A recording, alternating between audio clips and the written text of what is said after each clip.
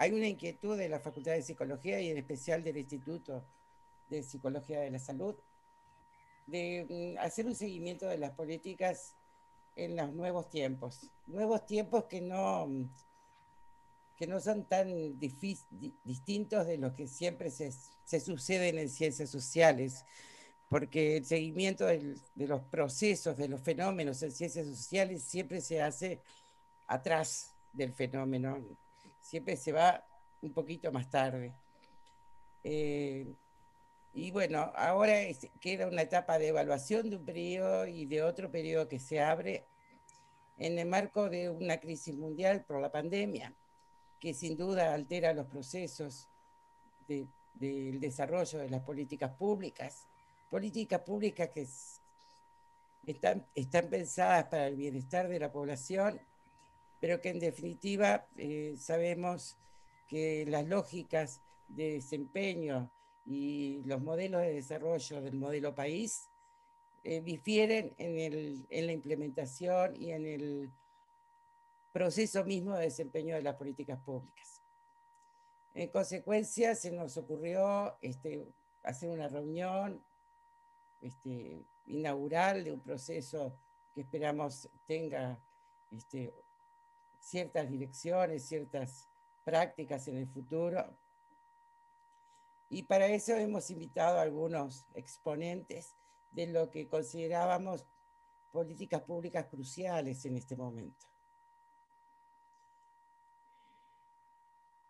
La idea de mm, hacer este encuentro creo que nos aproxima como grupo humano interesado, preocupado por una problemática nacional, pero que a su vez este, se puede hacer desde la complementariedad, que es lo que nos interesaba la complementariedad de lo que puede hacer la universidad y el saber académico con el conocimiento de la población, de la ciudadanía, la ciudadanía ampliando su desempeño, participando de, alguna forma en el pienso de estos procesos. No digamos la evaluación, porque es un proceso un poco más complejo, en un principio es pensar juntos y por eso eh, es variado el plantel de, expositores que tenemos y que me parece que lo mejor podemos un poco nerviosa porque quería recibirlos de la mejor manera.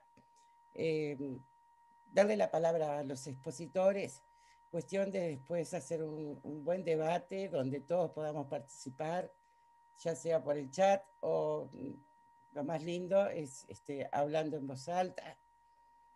Y bien, este, damos por iniciada la actividad.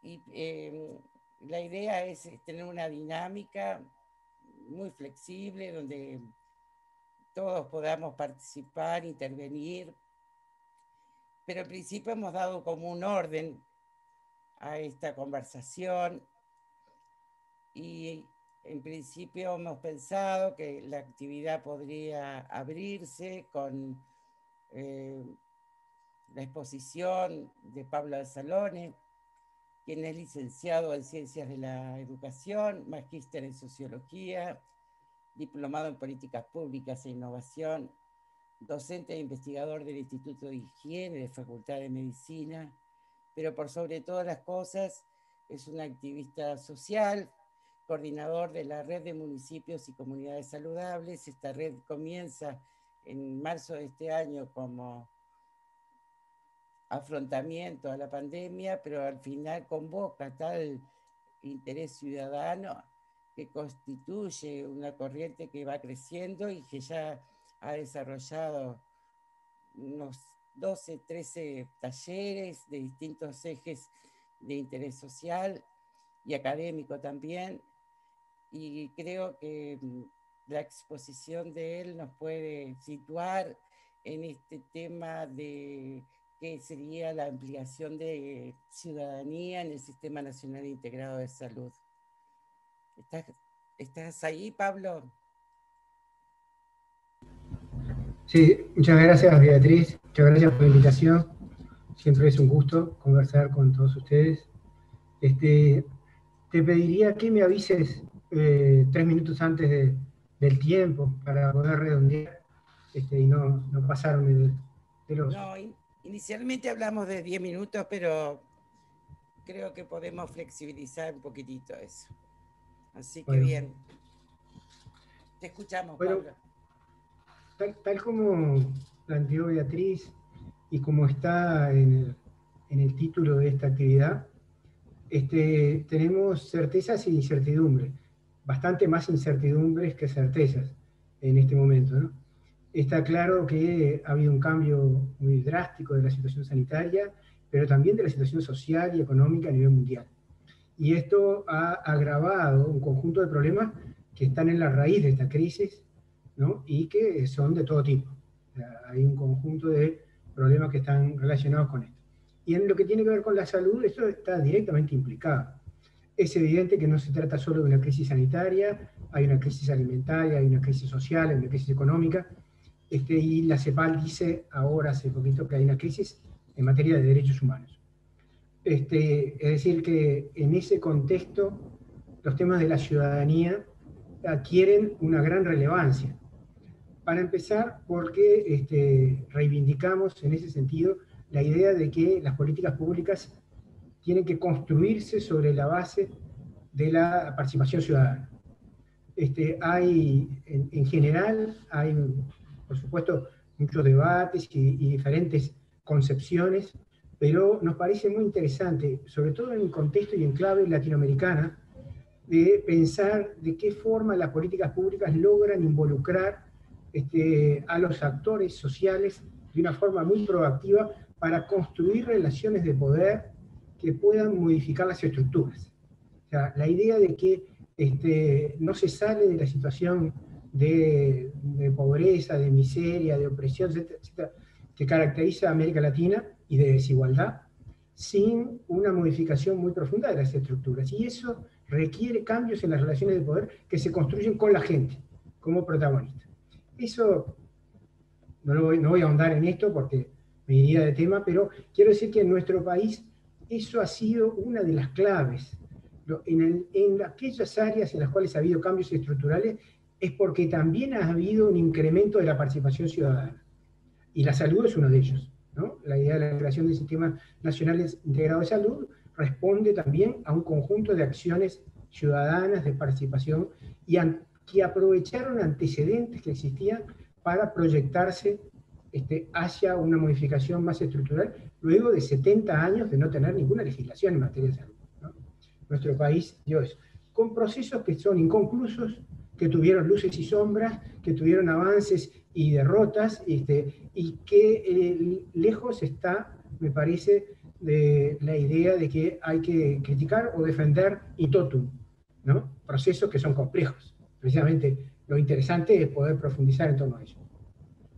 Entonces quería referir, aterrizar a, lo que me, me, planteaba Beatriz como, como tema, diciendo, en ese contexto, los dos o tres grandes cambios que tiene la situación del Uruguay, que es el cambio de gobierno, para empezar, o sea, un cambio de orientación profunda, este, de, concepción del Estado, de concepción de las políticas públicas, de concepción de las políticas sociales, y la pandemia, ¿no? Y la pandemia este, que en todo el mundo este, fue encarada, en algunos casos, como negacionismo, diciendo, bueno, no existe, es un invento, las teorías conspirativas, o las teorías que reafirmaban este tipo Bolsonaro, Trump, este, la idea de que, bueno, había que resistir y bancar y ya está. Este, pero también en lo que fue el mainstream, en lo que fue las corrientes principales de abordaje, que priorizaron dos componentes, evitar el contagio y esperar la vacuna.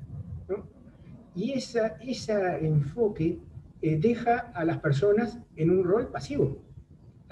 deja, y además esto se reafirma con la idea del confinamiento y la idea del distanciamiento social. Yo creo que este, es muy significativa la idea de que para referirse a una distancia física entre personas para evitar el contagio, eh, la consigna ha sido este, promovamos el distanciamiento social, cosa que este, parecería ser, este, por lo menos, un elemento patogénico, un elemento que genera un conjunto de problemas. Y a su vez, la, señal que se da es de quedarse en su casa y de parálisis. ¿no? no solamente porque es la manera de preservarse frente al COVID, sino también porque no se puede hacer nada. Porque lo que hay que hacer es esperar, ¿no? Esperar, aislarse y evitar el contagio.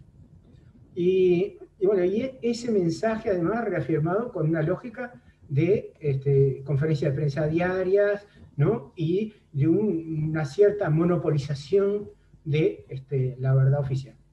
Con matices, porque ha habido algo de lo que el sindicato médico en algún momento decía, esto es un ateneo, decía el sindicato médico, ¿no? Esto implica que se escuchan y se dan opiniones diversas en ese sentido.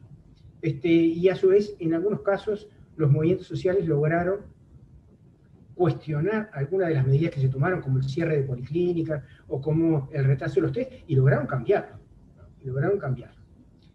Bien, de todas maneras, este, en el tema de los municipios y comunidades saludables, es una estrategia que, eh, como sabemos, tiene varias décadas en, la OPS, en la OMS, forma parte de una lógica de, desarrollo doctrinario que se apoya en Alma-Ata, en el derecho de las personas y de los pueblos a decidir sobre su salud, y lo vincula con los territorios y lo vincula con las políticas de los gobiernos locales y las comunidades. Este, con luces y claro, eso también la descentralización, siendo que es una estrategia que puede sustentar procesos de democratización, también en algunos países ha sustentado procesos de desvinculación del Estado central de sus responsabilidades y de delegación a las comunidades y a los gobiernos locales de cosas que tendría que resolver el gobierno central. Pero de cualquier manera, en, su conjunto, es una estrategia que resuelve eh, dos o tres cosas. Uno, encarar la salud desde la comunidad, pensando en la comunidad y no en los servicios de salud como eje principal. La otra es abordar los determinantes sociales. Esta estrategia pone el énfasis en los determinantes sociales, pone el énfasis en la intersectorialidad, pone el énfasis en la creación de alianzas.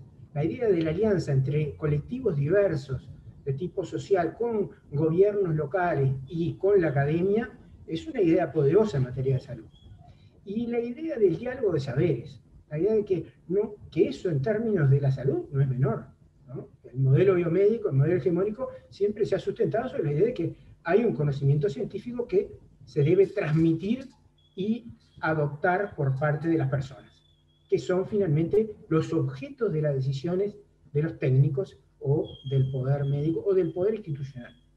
Y esto, esta estrategia apunta al revés, diciendo, hagamos diagnóstico local, hagamos diagnóstico participativo, desarrollamos acciones, etc. Los antecedentes que hay en Uruguay, hay unos cuantos antecedentes. Hay distintas experiencias de municipios y comunidades saludables.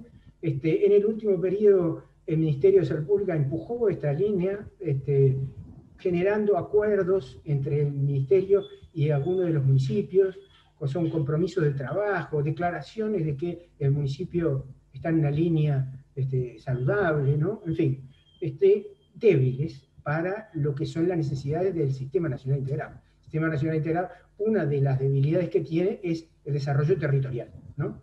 Este, y la participación social vinculada a los desarrollos territoriales.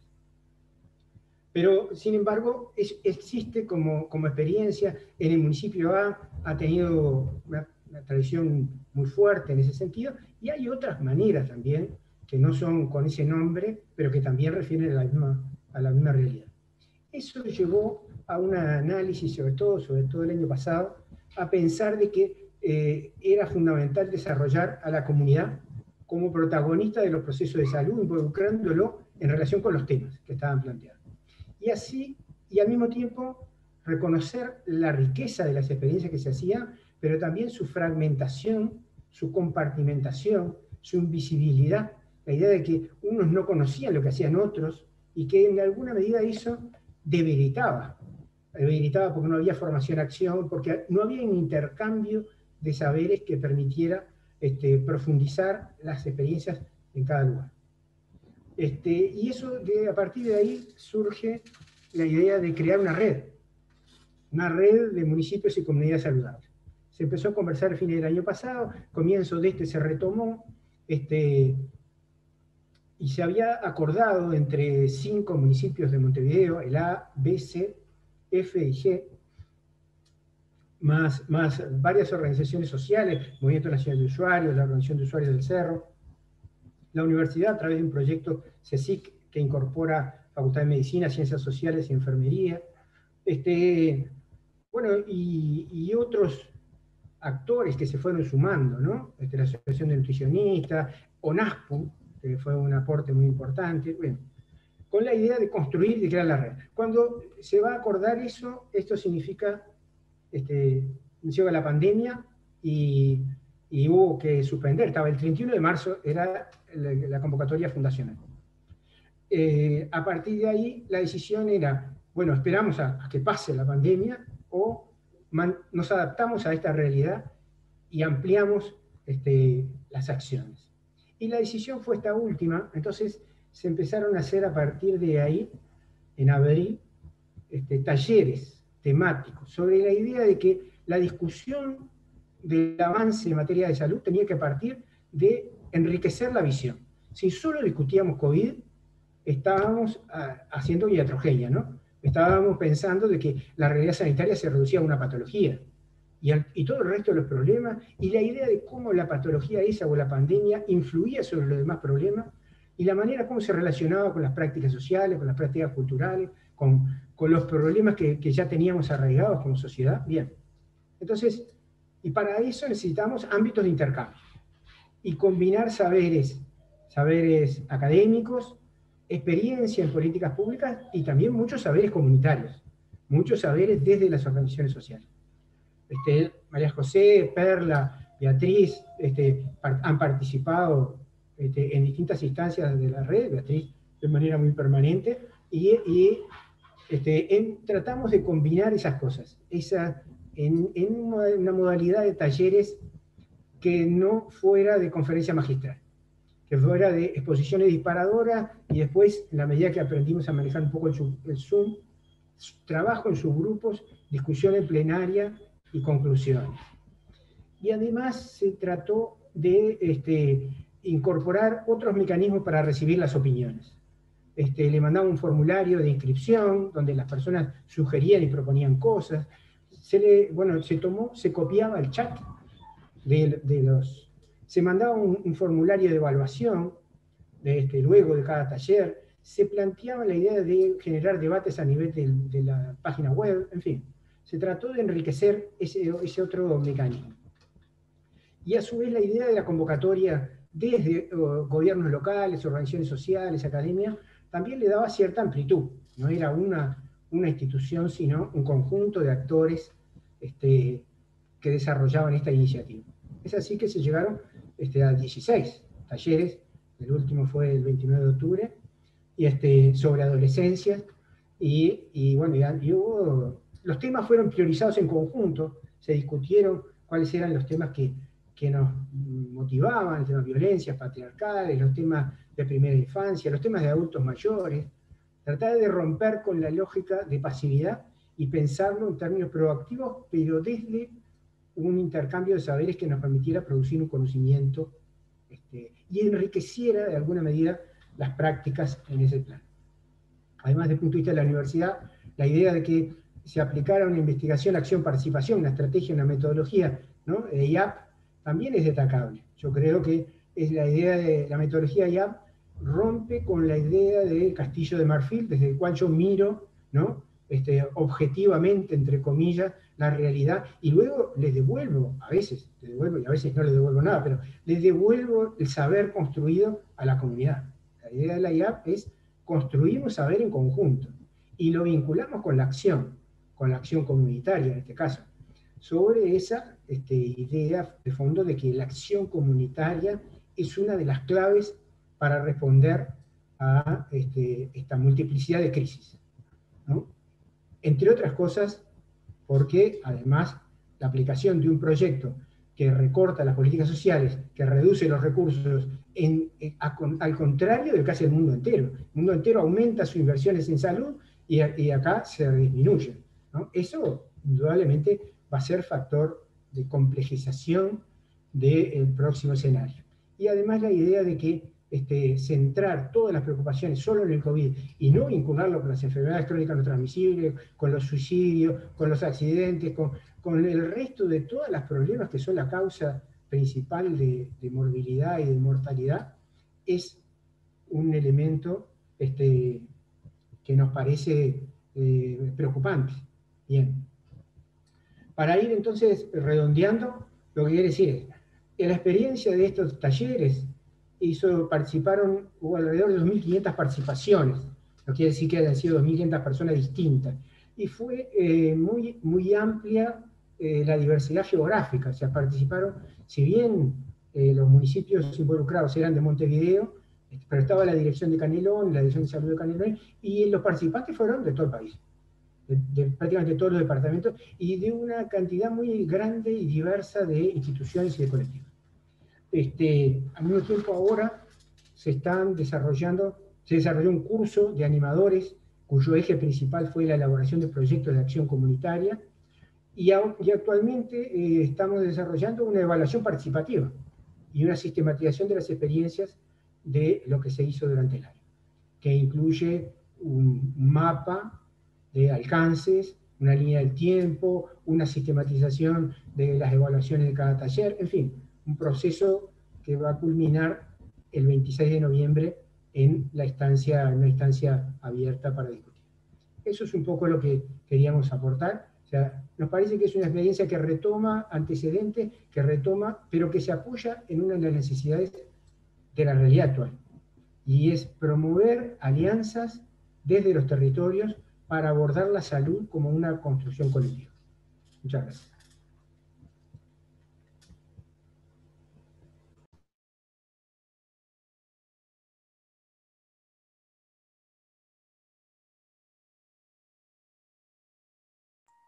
Muchas gracias, Pablo.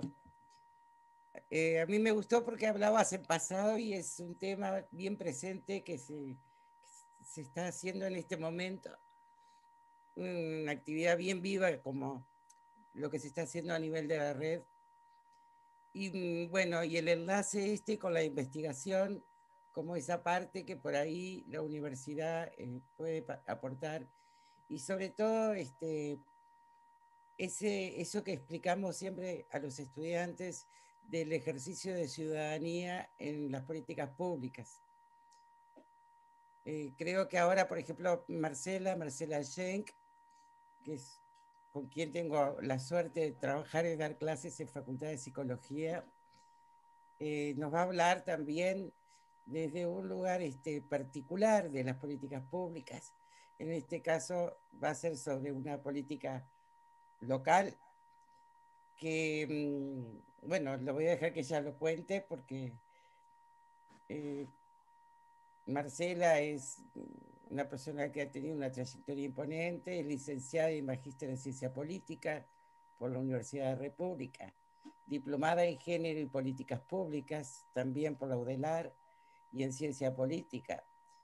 En este momento está haciendo el doctorado en Barcelona eh, en el programa de estudios de género, culturas y sociedades y políticas, que es un programa inter servicios, interuniversidades, está la de Barcelona, la Autónoma de Barcelona, la de Girona, Rovira y Virgili y la Universidad Central de Cataluña. Ella en Facultad de Psicología pertenece al programa de Género y Salud Reproductiva y Sexualidades del Instituto de Psicología de, la Salud, que es donde estamos, desde donde estamos organizando esta actividad. Marcela integra el Sistema Nacional de Investigadores y sus líneas de investigación son principalmente relacionadas al género, la diversidad sexual y del género. La ponencia, una mirada al futuro de la política en diversidad sexual y de género en la Intendencia de Montevideo. escuchamos, Marcela? Bueno, muchas gracias Beatriz por la introducción. Un gusto estar participando acá este, con, este panel y bueno, con tantos estudiantes este, y tantas estudiantes que nos acompañan en el curso, donde estamos problematizando, como decía Beatriz, muchos de los temas, le estamos dando actualidad a muchos de los temas teóricos que venimos trabajando. Em, tengo una presentación, no sé si la paso yo o la pasa Carla. Si querés pasarla tú, a tu comodidad, como quieras. Yo la tengo acá para compartir. Está, veo a ver si puedo compartir pantalla. Me dicen, porque cuando empiezo a transmitir pantalla ya no les veo. Yo te lo, puedo hacer acá, yo qué sé. Tú ves. Les, les, les, les pregunto si se ve la presentación nomás y arranco. ¿La están viendo? No, Marcela. ¿No? ¿Ahí? ¿No se está viendo? No, no se ve, pero recién se vio y después enseguida se dejó de ver y aparece tu foto. Bueno, em, entonces sí les pido si puede pasarla a alguien porque no sé qué pasa. Carla, ¿vos la podés pasar? ¿O Beatriz? A ver, yo la paso porque me parece que fue la ah, mía la que se vio. A ver si tú podés, Beatriz, porque como yo estoy grabando, no me permite abrir el archivo, pero por suerte. me superan todos los días y son mis compañeros los que me ayudan a resolverlos.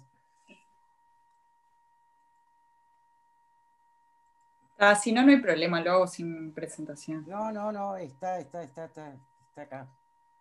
Déjame que la encuentre, porque recién se me fue.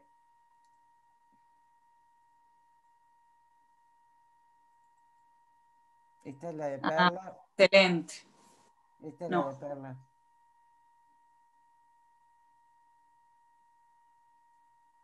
Un minuto que ya me, me concentro y ya la tengo.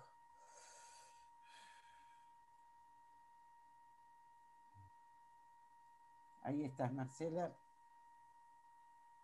¿Se ve?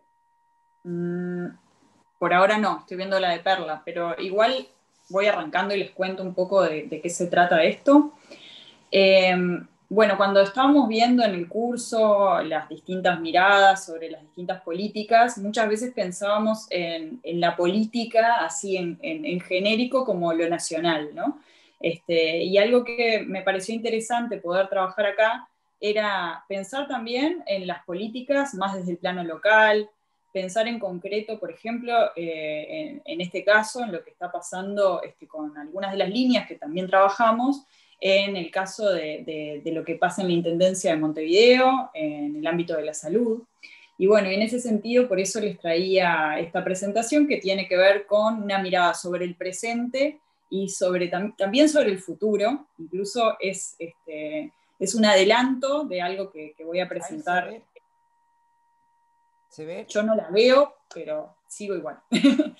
Eh, algo que voy a presentar la semana que viene. Em, que voy a presentar, como les decía, la semana que viene, eh, que tiene que ver con eh, la estrategia en diversidad sexual y diversidad de género este, de la Intendencia de Montevideo desde ahora hasta 2030, una mirada de, mediano plazo. Eh, y bueno, y en este caso eh, me voy a centrar en lo que tiene que ver con salud en particular. Eh, me voy a estar basando, como les decía, en, una serie de trabajos que, he realizado con la, con la Intendencia este, a través del Fondo de Población de Naciones Unidas. Ahora sí, ahora se ve. Capaz que ya pasamos a la segunda diapo para, ir más rápido. Bien. Bien. Bien, comentarles eh, que bueno, que esta mirada se centra un poco en lo que, en lo que se ha hecho desde eh, la Secretaría de Diversidad de la Intendencia de Montevideo, eh, que mm, bueno, es una, es una secretaría que se crea en el año 2015, ¿no?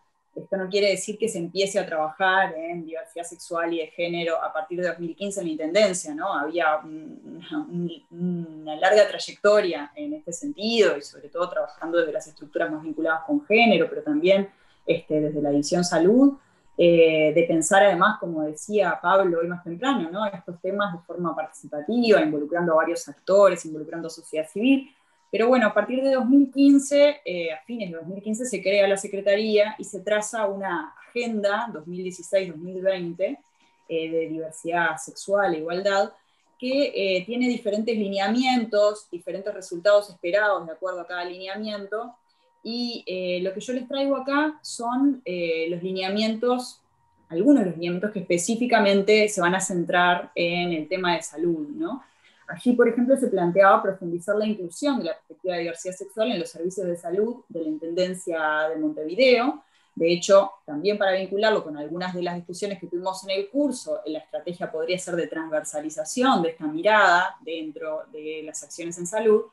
Y allí entonces se planteaban una serie de resultados esperados, como por ejemplo esto de certificar al menos cinco policlínicas de las 24 este, que conforman la red de la Intendencia como centros de salud libres de LGBTI-fobia, se había planteado así en un comienzo, esto se fue transformando también con el pasar del tiempo. Eh, también establecer protocolos de, derivación entre la red de policlínicas municipales eh, y, por ejemplo, otras experiencias, este, como por ejemplo pueden ser las de las unidades docentes asistenciales, la del CRAM, dentro de la Facultad de Psicología, también elaborar eh, que fueran amigables a la diversidad y de género, incorporar acciones específicas también dirigidas a adolescentes LGBTI, lesbianas, gays, bisexuales, trans e intersex, eh, en la línea telefónica de prevención del suicidio. Bueno, acá les pongo también en la misma diapositiva un trabajo este, que, que publiqué hace un par de años, este, también trabajando sobre estas líneas, sobre esta y sobre la que viene a continuación, que capaz que si podés ya pasamos, Beatriz, a, esa diapositiva, que eh, tenía que ver con la anterior, perdón. No, para atrás. Una más para atrás. Ahí va.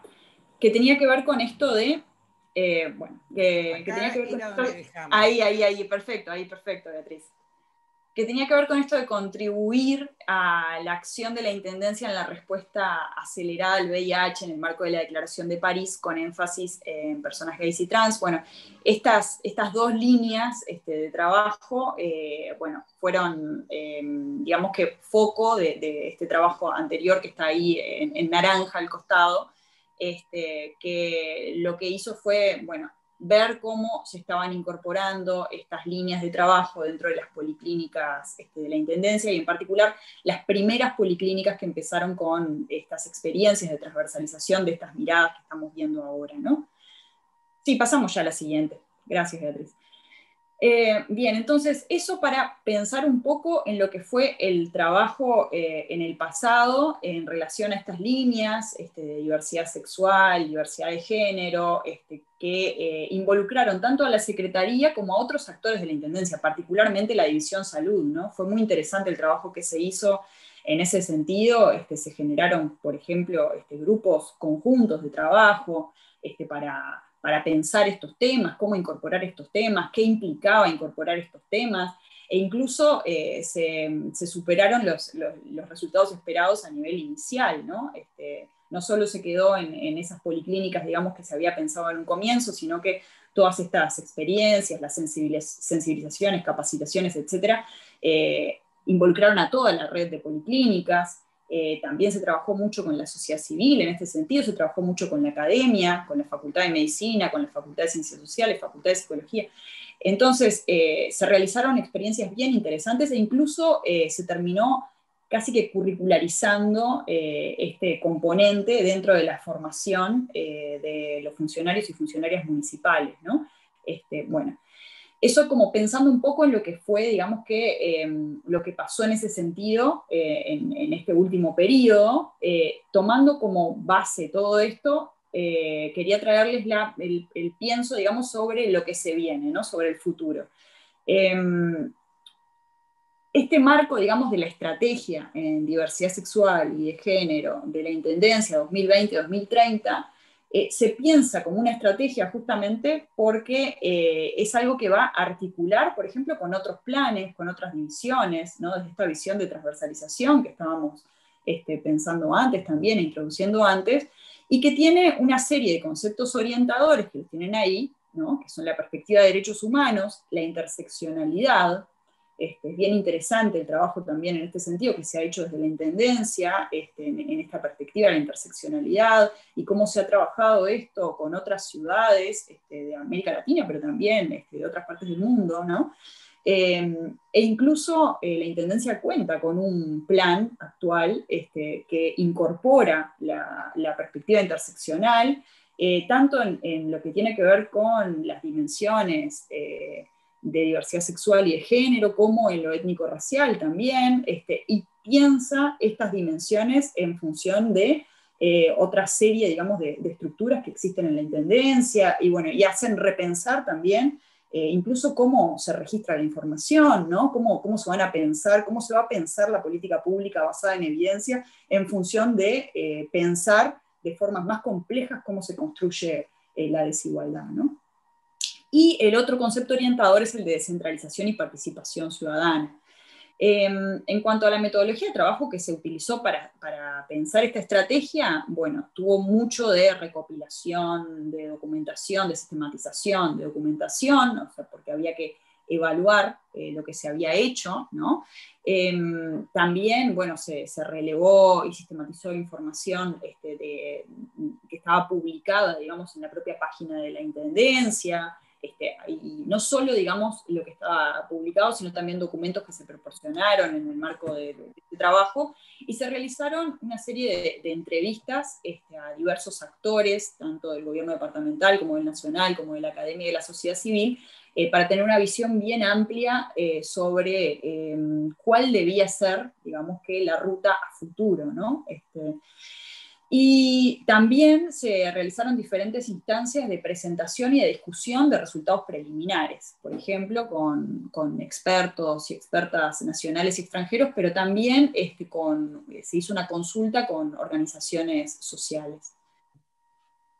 Vamos a la siguiente, por favor. Bien, para comentarles cuál es entonces el objetivo que se traza esta estrategia, Em, a nivel general, se plantea profundizar el acceso a los derechos de la población lesbiana, gay, bisexual, eh, trans, intersex y queer, promoviendo la erradicación de la discriminación de base heteronormativa en Montevideo, haciendo hincapié en la incorporación de la diversidad sexual y de género en las políticas y acciones que se impulsan desde la Intendencia. Y como pueden ver, este objetivo general tiene cuatro objetivos específicos. Uno de ellos justamente tiene que ver con garantizar el pleno derecho a la salud, de la población LGBTIQ. Eh, además, hay, si vamos a la siguiente, hay tres ejes transversales que se plantea eh, esta estrategia, que tienen que ver con la profundización del abordaje interseccional, eh, el fomentar y profundizar la amplia participación en las áreas que abordan los objetivos de la estrategia, o sea, la participación está mm, sumamente priorizada en este enfoque, ¿no? porque lo que se ve es que es eh, tanto un concepto orientador como un eje que transversaliza toda la estrategia. ¿no? Y bueno, el fortalecimiento de la descentralización de las acciones que contemplen la diversidad genérico-sexual y su territorialización. Y vamos a ver un poquito más el foco en, salud en el futuro. La siguiente, por favor. Bien. Eh, es muy interesante que el, derecho a la salud, ¿no? las intervenciones que tuvieron que ver específicamente con la salud, eh, fueron, por ejemplo, las que recibieron mayor cantidad de demandas y también de propuestas en Montevideo cuando se realizaron las asambleas departamentales de consulta con actores locales en el marco de lo que fue la elaboración del Plan Nacional de Diversidad Sexual. ¿no? Eh, ahí había una serie de demandas este, que se realizaron y que se toman también para pensar en qué elementos se puede profundizar eh, la acción este, de la Intendencia futuro. ¿no? Y en este sentido, la estrategia, por ejemplo, plantea seguir profundizando las acciones que se desarrollaron en el primer nivel de atención, eh, se ve además como clave todo lo que tiene que ver con garantizar el acceso al derecho a la salud, como además eh, un elemento que puede permitir eh, acercar a, poblaciones incluso de, extrema vulnerabilidad eh, a lo que tiene que ver con la garantía y el goce efectivo de derechos, ¿no? Es como una puerta de entrada para, para otros derechos, ¿no? Y entonces, los aspectos a profundizar que se están pensando dentro de esta estrategia 2020-2030 tienen que ver con eh, la descentralización de la atención en VIH, que es un elemento que estaba pensado este, dentro también de la agenda anterior, este, que se logró en parte, pero no, no, se logró profundizar tanto como se había este, planificado en un comienzo. También profundizar el elemento del apoyo psicosocial a la población LGBTIQ, este, y de hecho en este sentido también pensar en articulaciones con otros actores, ¿no? como por ejemplo con la academia. Y eh, también se plantea transversalizar la perspectiva de diversidad eh, de género y diversidad sexual en eh, concepciones y acciones que se desarrollan desde la Intendencia frente a otros problemas de salud pública, ¿no? como por ejemplo todo lo que tiene que ver con la violencia de género. Bueno, esto es apenas un pantallazo como para pensar, bueno, cómo se están eh, desarrollando estas, estas acciones o cómo se piensan desarrollar estas acciones. Quería traérselos como un elemento más para profundizar también este, nuestra discusión, nuestro debate y nuestra reflexión. Muchas gracias. Bueno. A ver un momentito.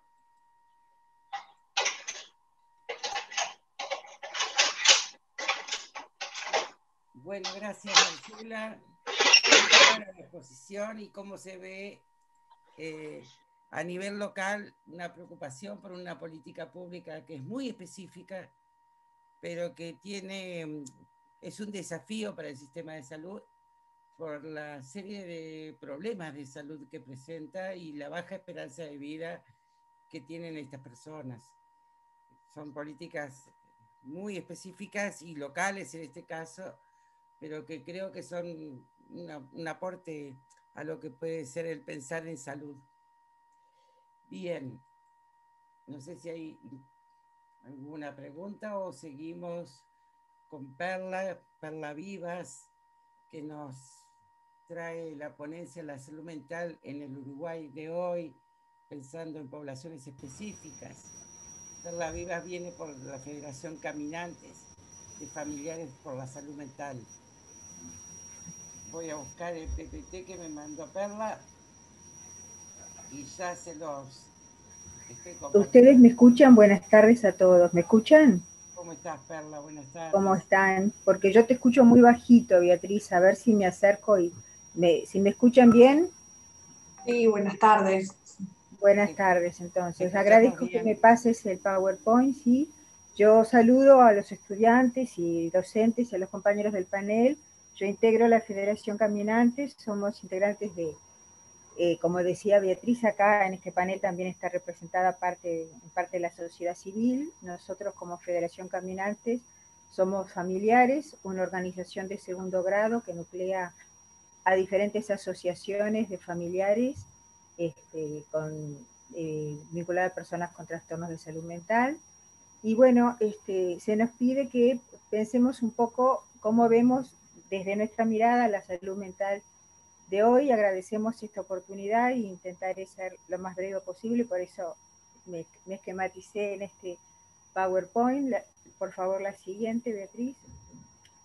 Eh, de alguna manera, este, cuando hablamos de certezas, este, lo vinculamos con fortalezas también y las incertidumbres con debilidades nos pareció interesante partir desde eh, un país que tiene una serie de normas legales este, que de, alguna forma van como eh, señalando un camino desde, desde 1936, la ley de organización de asistencia de psicópatas, con todo lo que implica los nombres que por suerte van cambiando. Si, no sé si se puede subir un poquito o lo tengo o lo pase mal, pero bueno, la ley del patronato del psicópata, ¿verdad? En donde se habla de la protección de la forma mental, la instalación del hogar taller, que es el Centro Martínez Vizca. Después tenemos eh, eh, la ley eh, de salud mental, de la cual vamos a hablar específicamente. Parece que quedó mal configurado, Beatriz, porque esta, esta, esta planilla tiene más. tenemos la ley 18, antes de la ley de salud mental queríamos nombrar, vinculado al tema de discapacidad y salud mental, que en el 2006, seguramente eh, María José va a hacer referencia a esto, Naciones Unidas trabaja el tema de los la Convención de Derechos de las Personas con Discapacidad desde una perspectiva absolutamente diferente, ¿verdad? Desde un paradigma distinto que intenta que en el mundo se vayan cambiando las posiciones, eh, eh, digamos, este, eh, médicas rehabilitadoras este, y por una, una mirada de inclusión social en el tema de la discapacidad. El país en el 2008 refrende esa ley y a partir de allí se produce, o sea que digamos que hace bastante poco tiempo, hace 10, 12 años, los actores políticos y las organizaciones sociales vamos como entrando en un proceso de cambio de, de, paradigma vinculado a la discapacidad, en este caso la discapacidad mental, que sin duda este, nos está exigiendo miradas distintas, vinculado a respeto a derechos, inclusión y no discriminación. Es así que aparece en el, en el año este, 2018 la ley 18.651 de protección de derechos a las personas con discapacidad, en donde, entre otras cosas, se plantea el tema de que es necesario un baremo único para evaluar la discapacidad, situación que no se está cumpliendo. Luego tenemos la ley de salud mental, sobre la cual vamos a hablar un poquito más, la 19.529, y por último, el año pasado, otra ley de promoción del tema del trabajo. Eh, mm, esto como marco legal y dando cuenta de que existe bastante, somos un país como los otros del mundo que están, estamos en este cambio de paradigma vinculado al tema de discapacidad. Y por supuesto también en el tema salud mental, desde hace 30 años con la Declaración de Canadá, en donde se habla de eh, los cambios en la atención de salud mental, el énfasis en la atención comunitaria. Hay un conjunto de colectivos, y hablando de esta esto que decía Beatriz, ¿verdad? Cómo los colectivos han ido siendo protagonistas. En este caso, los colectivos vinculados al tema salud mental, los colectivos profesionales, los colectivos de familiares, algunos colectivos de usuarios también, han ido como marcando agenda y sí, han sido eh, actores fundamentales para la elaboración de la ley. Ley de salud mental, que es un avance importante que otros países de América no tienen, y que es importante ver cómo manejamos su cumplimiento, ¿verdad? Ley que no satisfizo a todo el mundo, pero que sin duda significa un antes y un después en materia de reconocimiento de derechos. Si es posible, la siguiente, Beatriz, yo creo que no se está viendo bien, si se puede ver un poquito más de lejos. Ahí estábamos hablando de, entre otras fortalezas, gracias, eh, tenemos que eh, no, nos fuimos para atrás, pero bueno, siguiendo con las fortalezas, nosotros planteábamos que una de las fortalezas que nosotros tenemos es el Sistema Nacional Integrado de Salud, por supuesto, desde 2008, que incorpora en el 2011 y también con relación al liderazgo de los colectivos de psicólogos, ¿verdad? La coordinadora de psicólogos y los usuarios, incorpora las prestaciones psicológicas, prestaciones psicológicas que antes los usuarios teníamos que pagarlas por fuera del sistema, se incorporan tanto para usuarios con trastornos como para familiares, pero tenemos que decir lamentablemente que hay muy mal cumplimiento. Nosotros como familiares nos encontramos con que nuestros prestadores de salud no nos informan de los derechos que tenemos en esto y, ni en Montevideo ni en el interior son pocos los servicios que lo cumplen y es una de nuestras reivindicaciones. Siguiendo para adelante con respecto a las fortalezas, ¿verdad? Este, vemos que en ACE tenemos eh, hay un, eh, digamos, ACE es el único prestador, como prestador único público, que se plantea frente a la salida de la ley, bueno, hay que generar un plan de acción y se plantea un plan de acción 2019-2020, del cual por un presupuesto muy acotado solo puede cumplir lo que significa la casa eh, de buceo donde egresan 17 personas de las colonias pero que es una experiencia muy interesante. Con respecto a la ley de salud mental, que es una transparencia, bueno, que quedó por ahí medio en el medio, nosotros destacamos, ¿verdad? Eh, el reconocimiento del enfoque de derechos, destacamos que se plantea el cierre de los establecimientos asilares y la lenta desinstitucionalización de los que están allí internados, Ojo, nosotros reivindicamos tanto en el ámbito público, donde hay 600 personas en las colonias, pero también nos preocupa muchísimo todas las personas que están internadas en casas de salud sin que haya una suficiente, un suficiente registro y por supuesto tampoco habilitación, casas de salud para personas con trastornos psíquicos que son mini manicomios. Y eso el país no lo tiene presente porque está invisibilizado en, toda, en, los diferentes departamentos. Nos preocupa que la ley plantea, por ejemplo, que ustedes se acuerdan de los 30 días que daban los prestadores de salud para la, internación. Esos 30 días ahora no existen como límite, pero no lo están cumpliendo. De alguna manera se acercan a los 30 días y le piden al técnico de salud que saque para afuera esta persona y eso también nos está preocupando porque no existe rectoría del sector salud para obligar al prestador a que si un paciente tiene que estar internado 60 días, está internado 60 días. Máxime cuando faltan servicios comunitarios del tipo hospital de día o eh, servicios de medio camino, en donde las personas luego de la situación aguda puedan ir eh, acostumbrándose a la toma de medicación, al reconocimiento de una alteración de tipo crónico. Bueno, eh, también destacamos como fortaleza que se crea un órgano de contralor, que ustedes saben existe en otras partes del mundo, eh, y es una comisión de contralor que nosotros integramos como familiares y que tiene sus debilidades en tanto no tiene suficiente autonomía y tampoco tiene recursos. Bien. Eh, siguiente, por favor. Con respecto a las incertidumbres o debilidades que nosotros estamos notando en estos periodos, la primera está vinculada a, bueno, como ya decía, las prestaciones psicológicas, hablando un poco en términos de tiempo, las prestaciones psicológicas que nos están cumpliendo. La siguiente, por favor, Beatriz.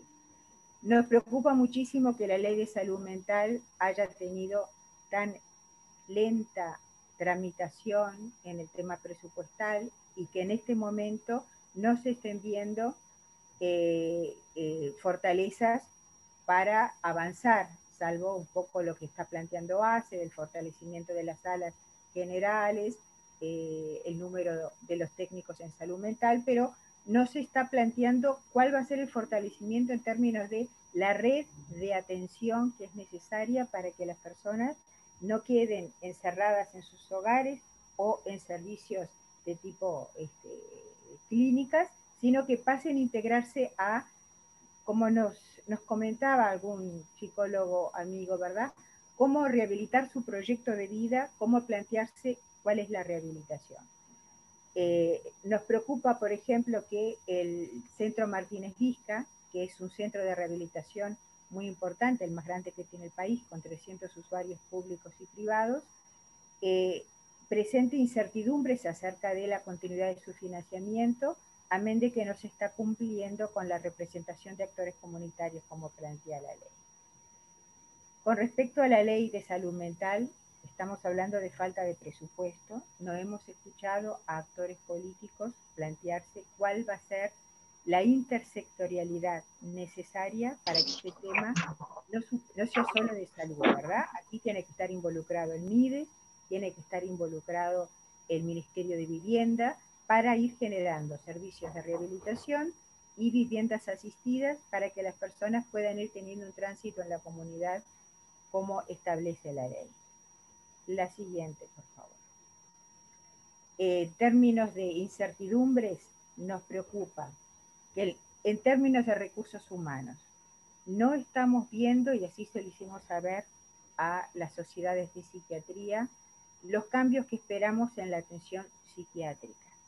Los psiquiatras no están derivando a los pacientes cuando hacen el diagnóstico de un trastorno de, eh, de salud mental severo a servicios de rehabilitación, no están dando esa opción, y en muchos casos tampoco se ayuda a la familia, que es el principal sostén y cuidador de esa persona.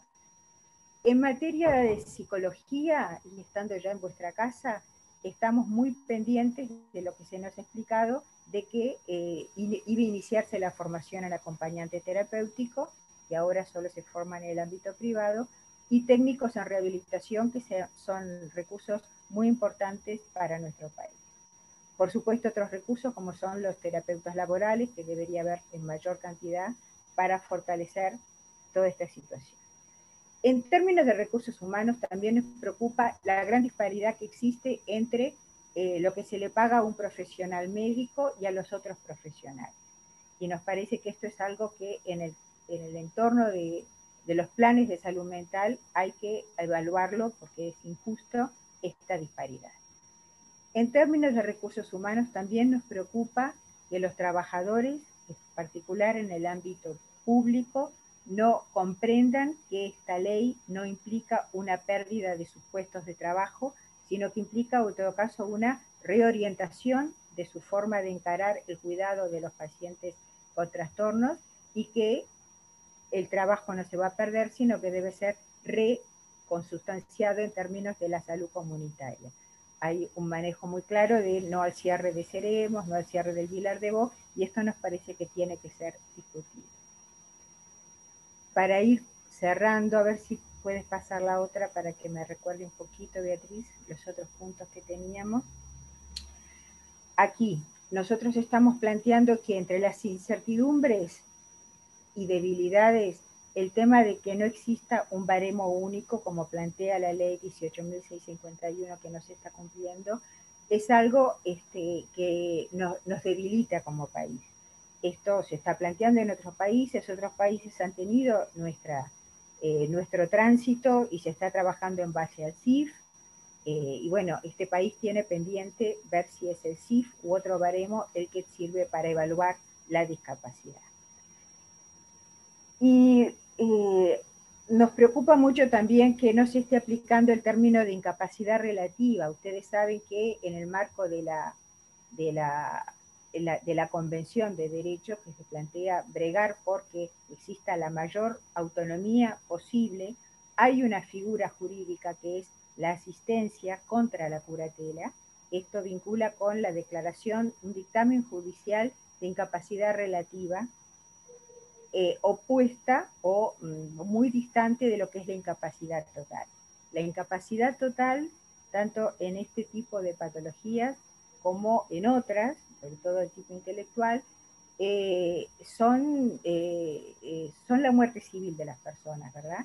Y nos parece que aquí hay que trabajar para reconocer que pueden haber muchas, muchos derechos que se mantengan en la declaración de incapacidad relativa que exige una asistencia, pero no es una curatela. Y nos preocupa en términos de políticas ¿Qué pasa con el concepto de rehabilitación?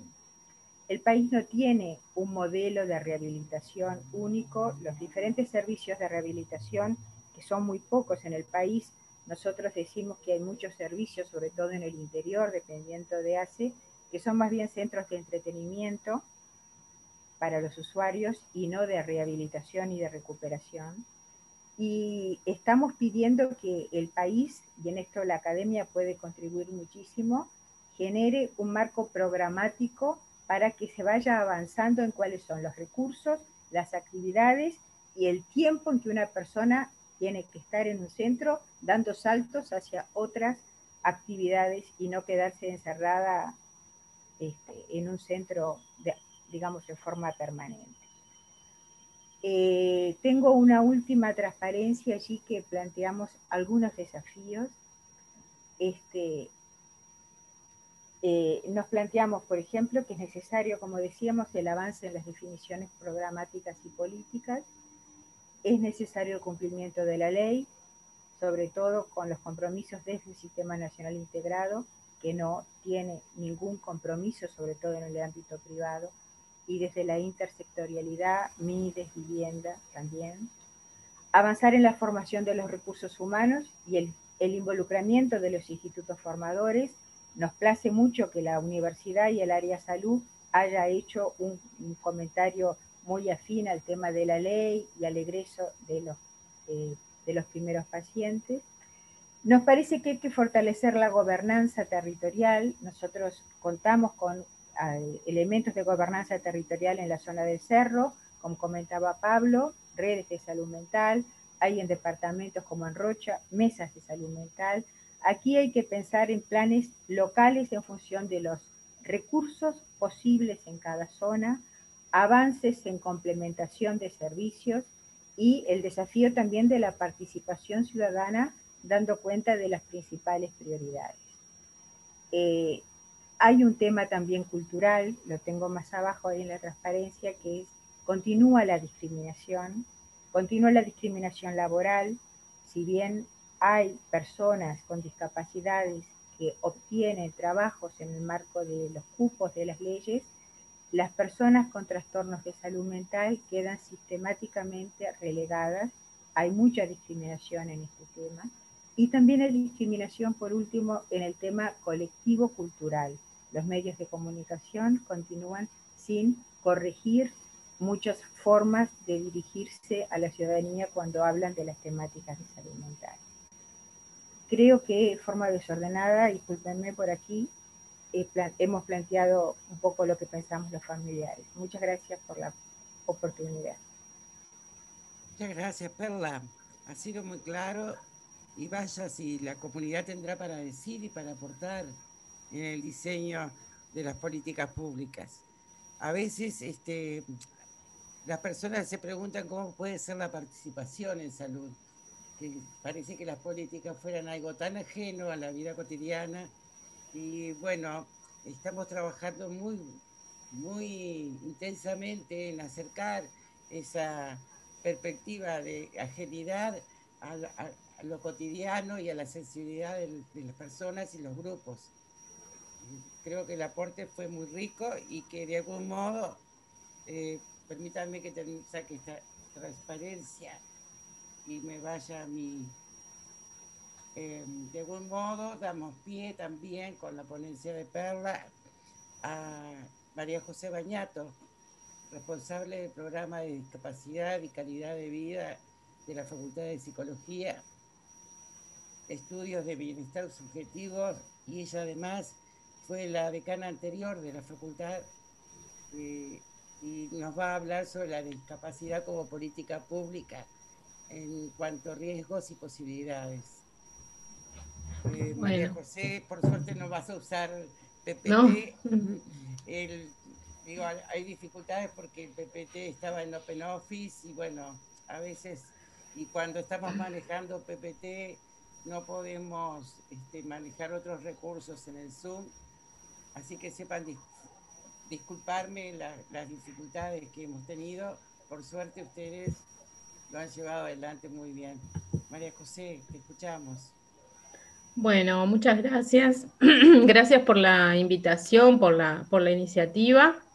Este, mientras un poco eh, se quita el PowerPoint de Perla, que en realidad me sirve de, pie para, lo que yo voy a hablar. Voy a intentar hablar de políticas de discapacidad y obviamente relacionarlas con políticas de salud, porque en definitiva es el contenido de esta actividad. Hoy cuando hacía Pablo referencia a la situación planteada por el COVID, em, en realidad pensaba que, bueno, em, muchas de las condiciones que vivimos todas y todos en el país y en el mundo en relación a las restricciones de participación social, de acceso al trabajo, a la educación, a actividades recreativas, a la salud eh, son las restricciones que permanentemente viven las personas en situación de discapacidad y las familias. Entonces, em, en alguna medida, si bien hay muchos estudios que, muestran cómo la, pandemia ha perjudicado a, las personas en situación de discapacidad, también es cierto que em, nos da una oportunidad de visibilizar cómo las personas en situación de discapacidad, en tanto política, quedan invisibilizadas, precisamente, porque eh, no se nombran, no se han nombrado, así como plantea Perla en temas de salud mental, yo lo haría extensivo a temas de discapacidad en general. eh, ¿cuál es la vuelta que le voy a dar a esto para llegar a las políticas de salud? Eh, tiene que ver con esto que se decía, bueno, la, situación de discapacidad es un, eh, un fenómeno complejo porque mm, no es claramente identificable en la medida que, ya que Perla me dio el pie, no tenemos ningún instrumento acordado, no es que no exista, no tenemos ningún instrumento acordado y no lo hemos logrado en el país que diga o que determine qué personas se encuentran en situación de discapacidad y cuáles no, porque como ustedes eh, podrán comprender, cualquier política tiene sujetos de derecho de esas políticas. Determinar qué políticas son dirigidas hacia la discapacidad debería poder identificar cuáles son esos sujetos a los que va dirigido la política. Parece un trabalenguas, pero mm, a lo que voy es que justamente por la propia definición, la discapacidad implica aquellas situaciones donde una persona con una determinada condición de salud eh, presenta restricciones o limitaciones para el acceso a, los ámbitos sociales y de la vida en, comunidad que tenemos todos, eh, ahí se instala la situación de discapacidad. Y esto está muy vinculado con lo que históricamente fue asociada a la salud, porque en definitiva eh, hay todavía una perspectiva muy relacionada a asociar la discapacidad con la deficiencia o el diagnóstico de la persona, ya sea que se trate de, los trastornos mentales, ya sea que se trate de discapacidades intelectuales o del desarrollo, ya sea que se trate de, de deficiencias o diagnósticos de patologías físicas, en general venimos de una tradición donde la discapacidad es aquella que, bueno, aquel que está en una silla de ruedas porque tiene una parálisis cerebral o porque tiene una lesión medular, es un discapacitado. Y esto es un poco lo que ha tratado de, transformar tanto los colectivos sociales que se plasman en la convención, que nosotros como país la tenemos hecha ley, como eh, la propia Organización Mundial de la Salud que recoge eh, también esta eh, propuesta de la perspectiva de derechos de los colectivos. Entonces nosotros, cuando digo nosotros, el, el equipo que trabajamos del programa de discapacidad y calidad de vida, Siempre decimos, trabajamos desde la perspectiva de derechos y profesionalmente o desde la técnica o desde las eh, medidas de intervención o, temáticas de investigación, nos planteamos desde la perspectiva biopsicosocial que plantea la Organización Mundial de la Salud.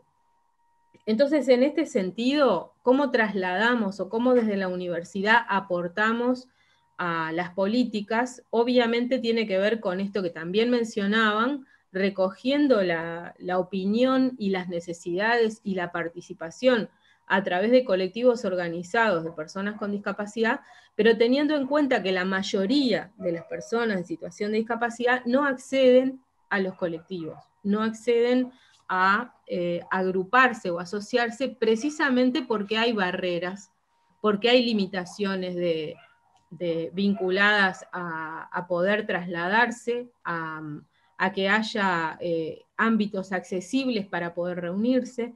Entonces, en alguna medida, eh, para nosotros es muy potente para las políticas públicas contar con el concepto de accesibilidad, porque este concepto de accesibilidad permite, eh, en ausencia de identificación, pero también por derechos, generar esta inclusión o esa posibilidad de participación en los diferentes ámbitos.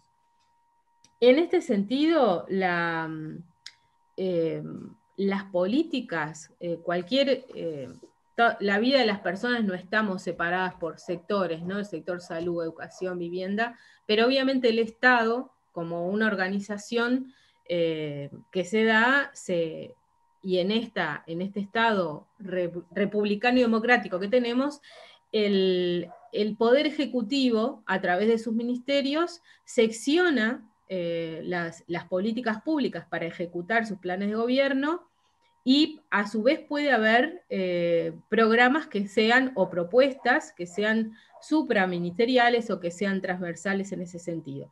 Y a su vez, como también hemos visto, hay otros niveles de gestión, como en, las este, conversaciones de los compañeros compañeras anteriores, que dependen más de eh, políticas que pueden ser locales este, o departamentales. Entonces, en ese sentido, la política de salud, en este caso, eh, si se enfoca desde la perspectiva de derechos y si toma en cuenta la perspectiva de las nuevas concepciones acerca de la discapacidad, podría contribuir muchísimo a eh, el ejercicio o hacer efectivo el ejercicio de los derechos de inclusión de las personas con discapacidad. Y entonces, en ese sentido, yo me planteo si la salud es un fin o es un medio para lograr la inclusión. Sin acceso, obviamente, a la salud, eh, es casi eh, imposible que las personas podamos participar en los distintos ámbitos. Y no por ser, no por tener una perspectiva médica hegemónica, porque hablamos eh, de la salud en un sentido amplio, de los determinantes sociales, y en ese sentido también los determinantes sociales influyen en la situación de discapacidad, agravando o eh, superando las barreras de las personas que se encuentran con determinadas condiciones de salud en distintos contextos. Para ponerlo como, ejemplo, eh, una persona eh, con una problemática vinculada a la discapacidad física tendrá más, mayores barreras si está en un contexto de, un barrio de repente que no tenga digamos, este,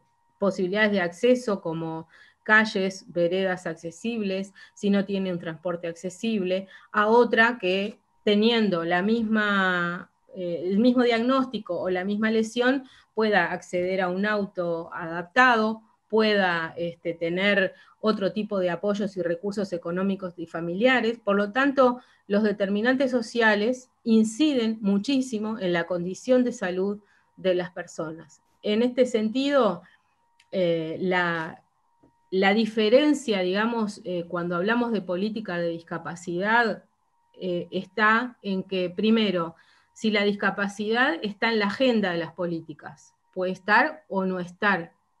Cuando me refiero a no estar es que ni siquiera está nombrada. Pero cuando está nombrada, también podemos ahí o tenemos que tener la alerta en pensar de qué manera se concibe la perspectiva de la discapacidad. Si es una perspectiva que no involucra a las personas, sino que son personas eh, que se viven o que se consideran como sujetos pasibles de recibir asistencia exclusivamente desde una perspectiva asistencialista o desde una perspectiva caritativa, eh, va a desencadenar un conjunto de acciones políticas eh, que en, la vía de los hechos en nuestro país ha estado muy vinculada al voluntariado, va a estar muy vinculada a las donaciones, muy vinculada a la solidaridad, a la mal llamada solidaridad, a la mal llamada sensibilidad hacia las personas más desfavorecidas, pero este, una política pública que apunte a una perspectiva de derechos,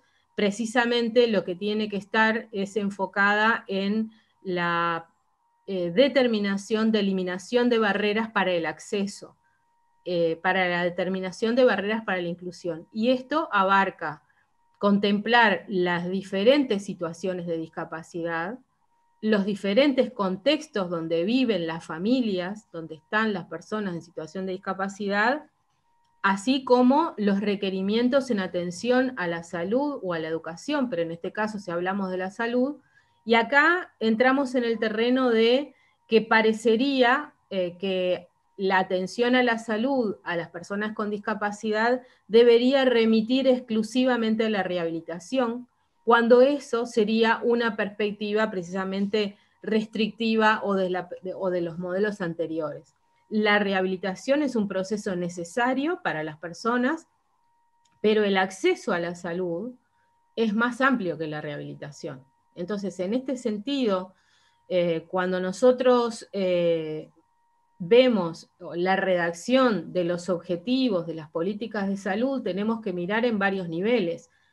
si primero si está incluida la discapacidad como concepto, de qué manera está incluida, cuáles son las acciones y si a su vez destinan presupuesto para esas acciones. Entonces, en este sentido, em, una cuestión que, mencionaba antes que tenía que ver con la división de los poderes del Estado, nosotros tenemos un marco legal amplio y garantista de derechos, pero en la medida en que esos, eh, esas leyes no son em, en alguna medida ratificadas em, por el Poder Ejecutivo, no se pueden efectivizar. Y es un poco el reclamo de lo que tienen o lo que vienen llevando las organizaciones de personas con discapacidad en cuanto a las reglamentaciones de la ley.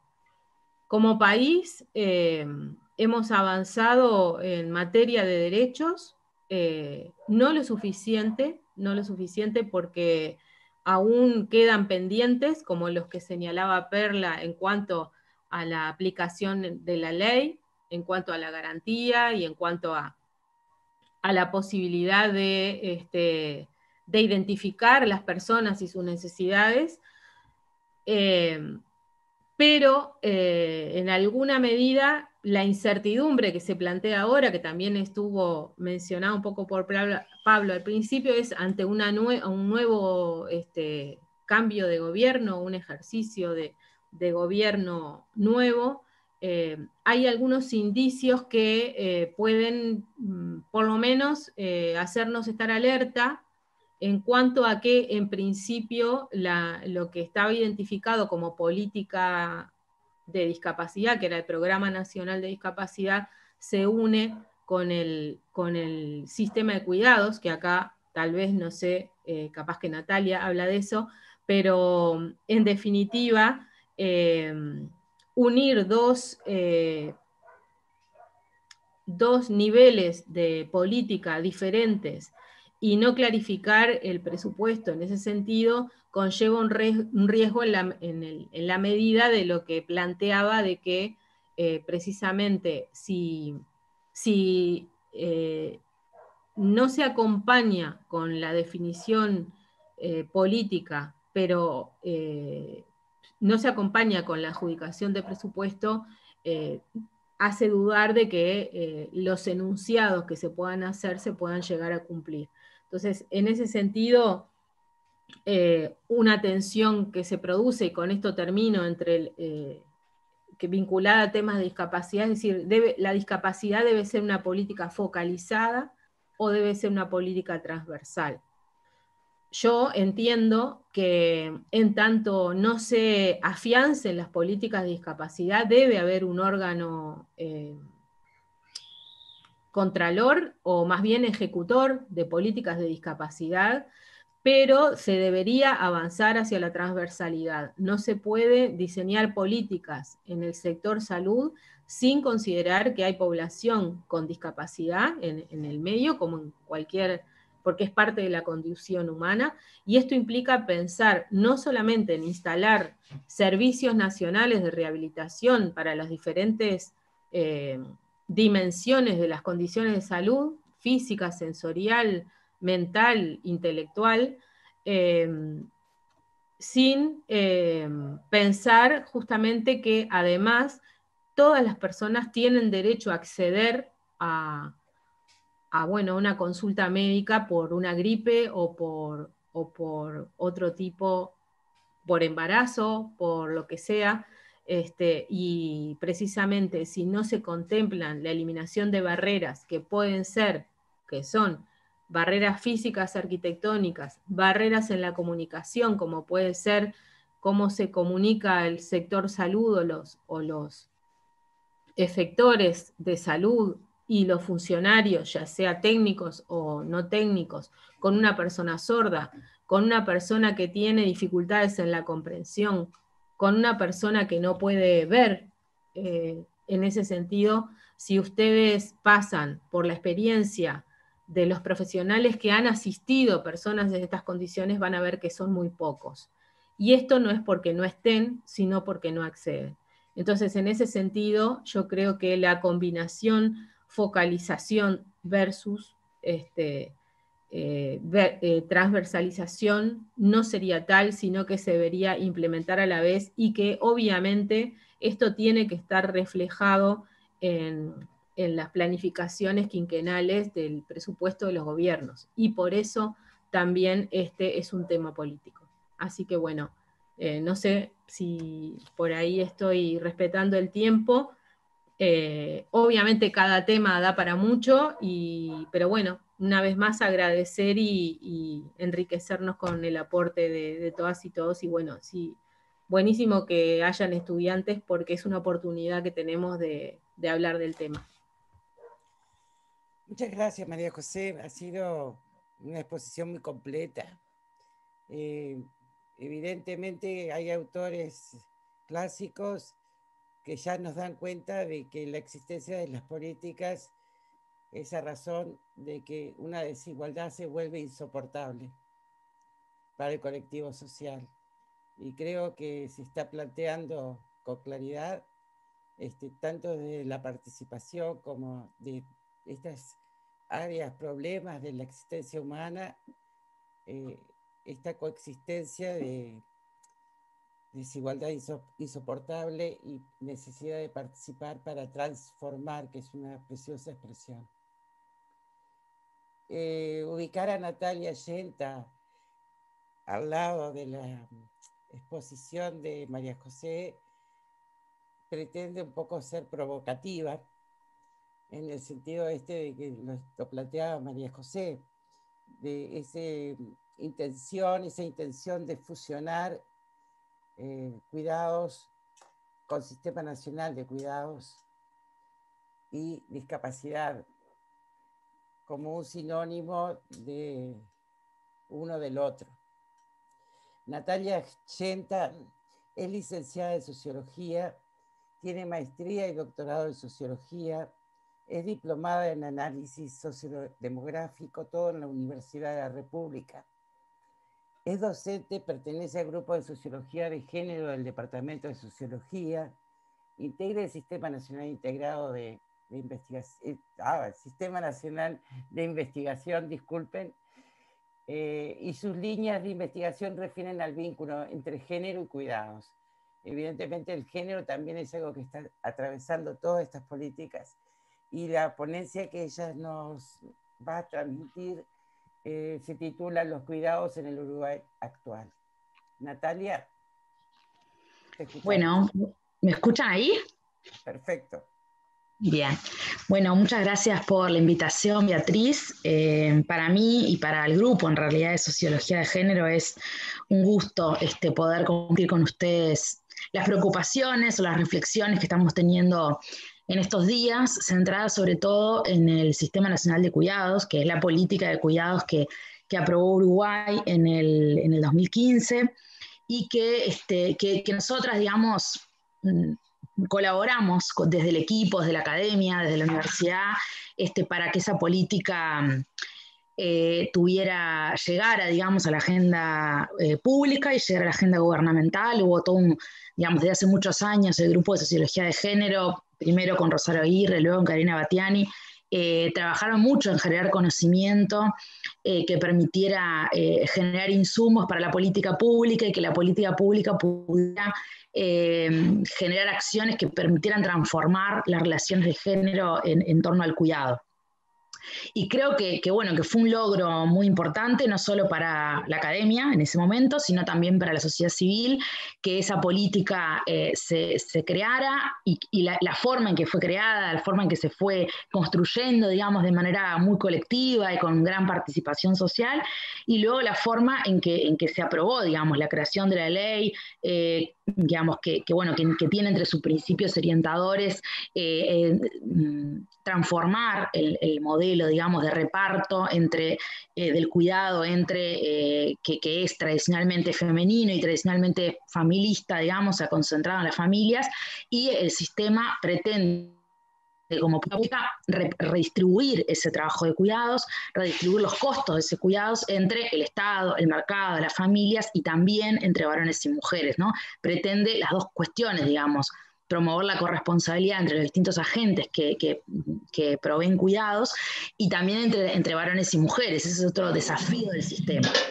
Eh, nosotros, digamos, como, como grupo eh, y, desde la UDELAR, participamos entonces en la, en la, en la previa, digamos, asesorando y, desde muy cerca para que para generar información y para que esa información este, llegara a la política pública y, estuviera presente y estuviera este, ahí. Y ahora, y luego, digamos, que el, que el sistema se conforma, eh, se genera una una estructura organizativa eh, que, bueno, que incluye la Secretaría de Cuidados, incluye la Junta, sería como un órgano ejecutivo, un órgano legislativo y también eh, un consejo consultivo en el que, en el que participa eh, bueno, la sociedad civil, participa la academia, participó Karina Batiani y María José Bañato y ahora este, participo yo de ese lugar.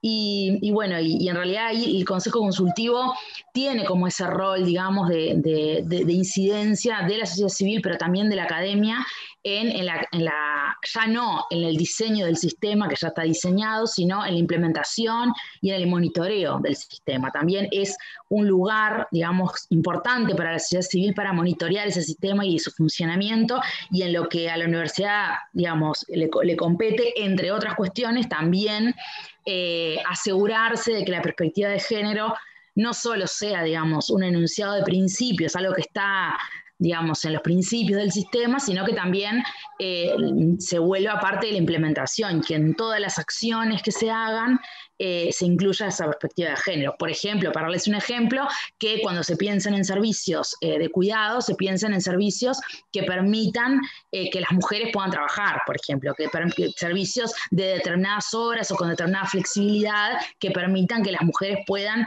incorporarse al mercado de empleo o mantener, mantenerse en el mercado de empleo y en general en todo lo que tenga que ver con liberar tiempo a las mujeres, porque esa es una de las, de las digamos, de la perspectiva de género, es algo que, es muy relevante, reducir el tiempo que las mujeres le destinan de alguna forma este, sobrecargadamente a los cuidados de, de niños, de personas en situación de dependencia, eh, y eh, y, bueno, y en, todo caso impactar ahí sí en la autonomía económica de las mujeres, que como sabemos la autonomía económica está relacionada con la autonomía física y está relacionada con la autonomía en la toma de decisiones. Entonces, eh, en ese panorama, digamos, nosotras durante la implementación del sistema inicial del 2015 hasta la fecha, eh, participamos en el Consejo Consultivo y también desde la academia no, tampoco veíamos al sistema en perfectas condiciones, sino que también este, hacíamos críticas y hicimos críticas, críticas y reflexivas sobre cómo el sistema estaba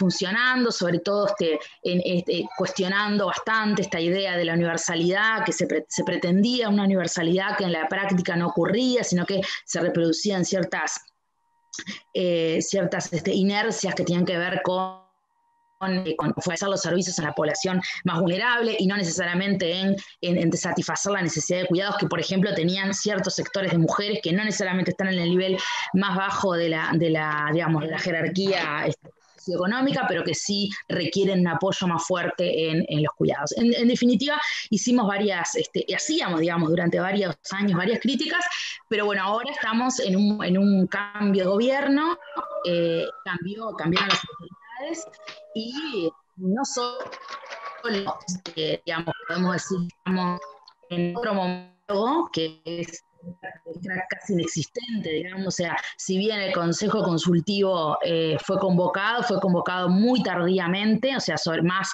sobre el segundo semestre del 2020, este, y la última vez que se había reunido en 19, entonces con el cambio de gobierno se demoraron demasiado en convocar el Consejo Consultivo que se que se reunía mensualmente, habitualmente, y, bueno, y hay bastante, y, ahí las, preguntas que se, que se fueron haciendo, no solo de la academia, sino de la sociedad civil, mm, fueron, digamos, las respuestas fueron muy poco claras. Y ahí me gustaría centrarnos en, centrarme, digamos, en cinco puntos para, para no tampoco este, eh, ni divagarme ni tampoco cansarlos porque es tarde. Eh, y, bueno, y hay cinco eh, reflexiones que nosotros, este, o cuestionamientos que nosotros hacemos sobre cómo está funcionando ahora esta política pública.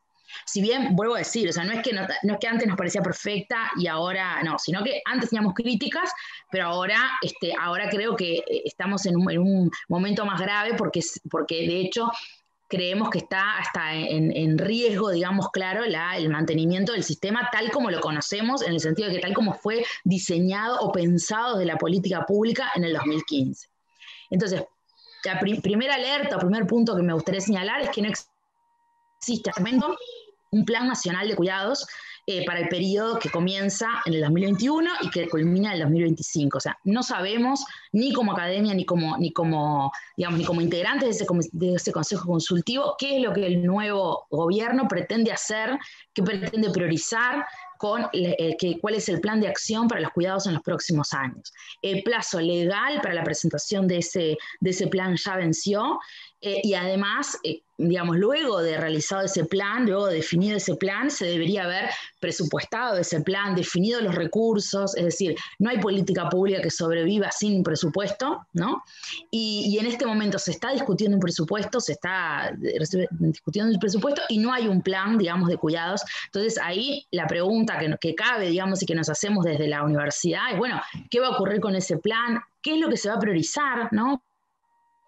Porque siempre estamos con limitadas, este, siempre estamos con presupuestos limitados y ante los recortes anunciados por el gobierno en tantas oportunidades, nada, queremos, no solo queremos este, saber qué va a pasar, nada más que como consejo, como universidad y como consejo consultivo somos parte de la política, eh, porque esta política trasciende a un gobierno eh, eh, específicamente y también deberíamos ser parte de la generación de ese Plan Nacional de Cuidado, o sea, deberíamos poder incidir en la elaboración de ese plan. Sin embargo, hasta el momento no lo conocemos y no hubo instancias tampoco de este, esto que vamos al comienzo de la participación ciudadana, no hubo instancias en que la Universidad de la República pudiera este, dialogar con esto y dialogar en la elaboración de ese plan. Segundo, segundo punto, digamos, de, preocupación este, es un poco lo que ya anunciaba eh, María José, y es esto de la anunciada unificación entre Pronadis y el Sistema, y el sistema Nacional de Cuidados, ¿no? Eh, consideramos que esta medida representa no solo un debilitamiento institucional de las políticas de cuidado, sino además un retroceso, digamos, ¿no? No solo es un debilitamiento, sino es un retroceso en varios términos, este, varios de los que ya mencionó María José. El país eh, dio una batalla grande, digamos, muy este, apoyado por la Universidad de la República en diferenciar la discapacidad de la dependencia y en identificar que el, el Sistema Nacional de Cuidados se iba a enfocar podía haberlo hecho de otra manera, en otros países quizás se hizo de otra manera, en Uruguay definió que se iba a enfocar en la población en situación de dependencia, más allá que tuviera una discapacidad y de hecho, este, más, allá que sean personas con discapacidad o no, y y, por eso definió tres poblaciones, cuatro en realidad, los niños, las personas este, mayores en situación de dependencia, las personas eh, con discapacidad en situación de, dependencia y la cuarta población que es las personas cuidadoras. Entonces, eh, esta unificación, digamos, que se traduce en que la Secretaría de Cuidados, que es el órgano ejecutor de la política, se va a llamar en lugar de Secretaría de Cuidados, Secretaría de Cuidado y Discapacidad, creemos que es un, un retroceso entonces porque se unen cosas que son diferentes y por lo tanto probablemente las políticas de cuidados que costó tantos años que existieran en el, ámbito gubernamental probablemente se diluyan en, la, este, en, el PRONADIS, que es un programa que existe dentro de un ministerio. Y el, el Sistema Nacional de Cuidados o la Secretaría Nacional de Cuidados es el objeto, digamos, el, objeto del, de, Pronadis es, eh, tiene que ver con otros objetivos, ¿no? Con la, con, la, probablemente con la inclusión, con promover la rehabilitación, con la inclusión de las personas con discapacidad en distintos ámbitos, en el familiar, el laboral, el social, el educativo y hasta el cultural. Pero este no es el objetivo del Sistema Nacional de Cuidados y tampoco es el objetivo de la Secretaría Nacional de Cuidados, que la Secretaría Nacional de Cuidados como órgano ejecutor está, eh, su coordinación está en el Ministerio de Desarrollo Social, pero es una pata, digamos, de todo el sistema de cuidados. El sistema de cuidados, justamente, la diferencia de, que la diferencia además regional, digamos, del Sistema Nacional de Cuidados en comparación con lo que ha pasado en la región, es que une en un, en una política, digamos, eh, todo lo que, todos los servicios, las prestaciones que se dirigen hacia la población eh, en situación de dependencia. Entonces, es de una, o sea, lo que hace es de una forma articulada, integrada, dirigirse a una población. y eso, y entonces por lo tanto trasciende al Ministerio de Desarrollo Social y de hecho eh, eh, hay varios ministerios involucrados, la gran mayoría de los ministerios están involucrados, el Ministerio de Trabajo, el Ministerio de Salud Pública, ¿no? Están involucrados, el, Banco de Previsión Social, están involucrados en el INAU, etcétera, etcétera, están involucrados en la, en la, en la generación de esta política. Por lo tanto, tienen objetivos diferentes, atienden a población diferente, tienen jerarquías institucionales diferentes, sin embargo aquí se unen, ¿no? y, y, el riesgo ahí es qué es lo que va a pasar, qué consecuencias trae para las políticas de cuidados y para el sistema de cuidados esta unificación con el PRONADIS. No está claro, no hay una respuesta clara de qué es lo que va a ocurrir con eso y en definitiva lo, que podemos intuir es que, estas, que las políticas de cuidado propiamente dichas se van a ir diluyendo en, en ciertos programas probablemente focalizados para personas con discapacidad. Una tercera este, cuestión que, nos parece, eh, que, nos parece importante reflexionar también desde la universidad y desde el Grupo de Sociología de Género es que se anunció recientemente o aparentemente la suspensión de las inscripciones del programa de asistentes personales. Eh, este programa, bueno, ofrece cuidados profesionales, reconocidos además eh, eh, institucionalmente a través de, los, eh, de, los, cursos que ha dado el propio Estado, que está, está digamos, destinado a cuidar en el hogar a personas o con dependencia severa. Y es, una, y es una de las herramientas, digamos, principales del sistema para desfamiliarizar los cuidados, ¿no? El, digamos, el sistema, desde una perspectiva de género, lo importante del sistema es que desfamiliariza y desfeminiza, o sea, quita la responsabilidad, quita no, redistribuye la responsabilidad de los cuidados eh, y la deja de colocar exclusivamente en la familia, entonces hace proceso de familiarización y hace un proceso de feminización, es decir, involucra o pretende, o pretende involucrar a los varones también en, en la, eh, y, no, solo los varones, no solo involucra a los varones, sino le quita el carácter de femenino a la tarea de cuidado, o intenta hacer eso. Entonces, el, programa de asistentes personales ha sido bastante bien evaluado en función de las evaluaciones que hay, este, por lo menos dentro de lo que reseñan los documentos del MIDES, eh, logra de alguna forma el objetivo este de respiro familiar, en tanto eh, si bien son 20 horas semanales y no cubren todo lo que se requiere de cuidados a una, persona con dependencia severa, de todas formas logra parte de ese objetivo eh, de familiarizando parte de los cuidados y otorgándoles este respiro a las que probablemente son las mujeres que, que destinan la mayor eh, parte de las horas a ese cuidado de esa persona. Em, sin embargo, a pesar del contexto de pandemia en el que vivimos, eh, donde, donde probablemente se va a agravar la situación socioeconómica, se está agravando la situación socioeconómica de los hogares que, tienen personas dependientes también, el sistema de cuidado cierra las postulaciones a este programa. Aparentemente este servicio no se va a seguir eh, brindando o no se va, van a quedar los que, los que están ahora, pero no se va a seguir expandiendo. Por lo tanto, eh, era, era, un programa que permitía, de alguna forma, de, feminizar, de familiarizar y de feminizar el cuidado parcialmente y además estaban, en la mayoría de los casos están subsidiadas 100% las familias eh, para cubrir esa, ese asistente personal. Sin embargo, ante, a pesar de esta situación de pandemia, el Estado decide, el gobierno decide cerrar o está anunciando que probablemente se cierren las postulaciones a ese programa. Cuarto punto, eh, la lo que nos preocupa mucho, que es la participación de la sociedad civil y de la universidad en el Consejo Consultivo, que solo fue este, convocado recientemente. Las respuestas que, las autoridades, digamos, eh, dan, las nuevas autoridades dan ante estas preguntas, que también se las hace la sociedad civil, no son claras, no hay respuestas claras, ni qué se va a priorizar, ni dónde está el plan de cuidados, ni qué, ni qué implica, digamos, esta fusión entre este, discapacidad con, cuidados, etc. Sexto punto, quinto punto, perdón. Eh, lo que nos, preocupa mucho, eh, esto de que, de que eh, mirando el observatorio de, CEPAL, el, CEPAL tiene un observatorio, el observatorio COVID-19, donde están registradas todas las acciones que en América Latina se hicieron en, en diferentes temáticas, digamos, pero hay uno particularmente que habla sobre cuidados. Y Uruguay no ha hecho, igual, Uruguay, al igual que Brasil o otros países con otras no con sistemas de cuidados, eh, no ha hecho una, no ha tomado una ni una en el marco de la pandemia, ¿no? A diferencia, por ejemplo, de Argentina, donde se registran 12 medidas, ¿no?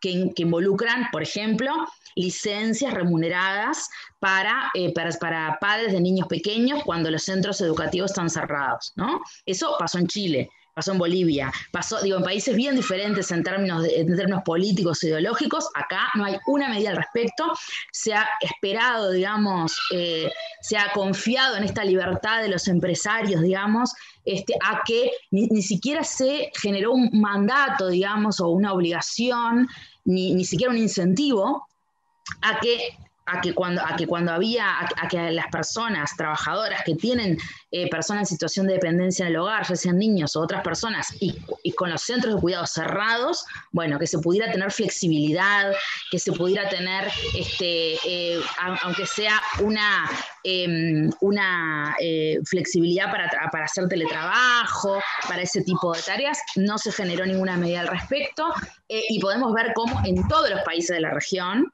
eh, se han hecho medidas en ese sentido. Entonces, eh, es raro, digamos, es extraño que un país que ha sido envidiado en la región en todos estos años por tener un sistema de cuidados, por tener un sistema de cuidados, eso, una política que a la, que a la vez que, que incluye en una misma política todas las poblaciones que requieren cuidados y a las poblaciones que brindan cuidados, que es una política articulada, integral, que se, que se genera con participación social. Bueno, ese, es eso envidiado en la región. Sin embargo, en la actualidad, ese sistema de cuidados no responde, no interviene en un marco de pandemia. Entonces, eso también eh, nos parece eh, muy, eh, nos llama la atención.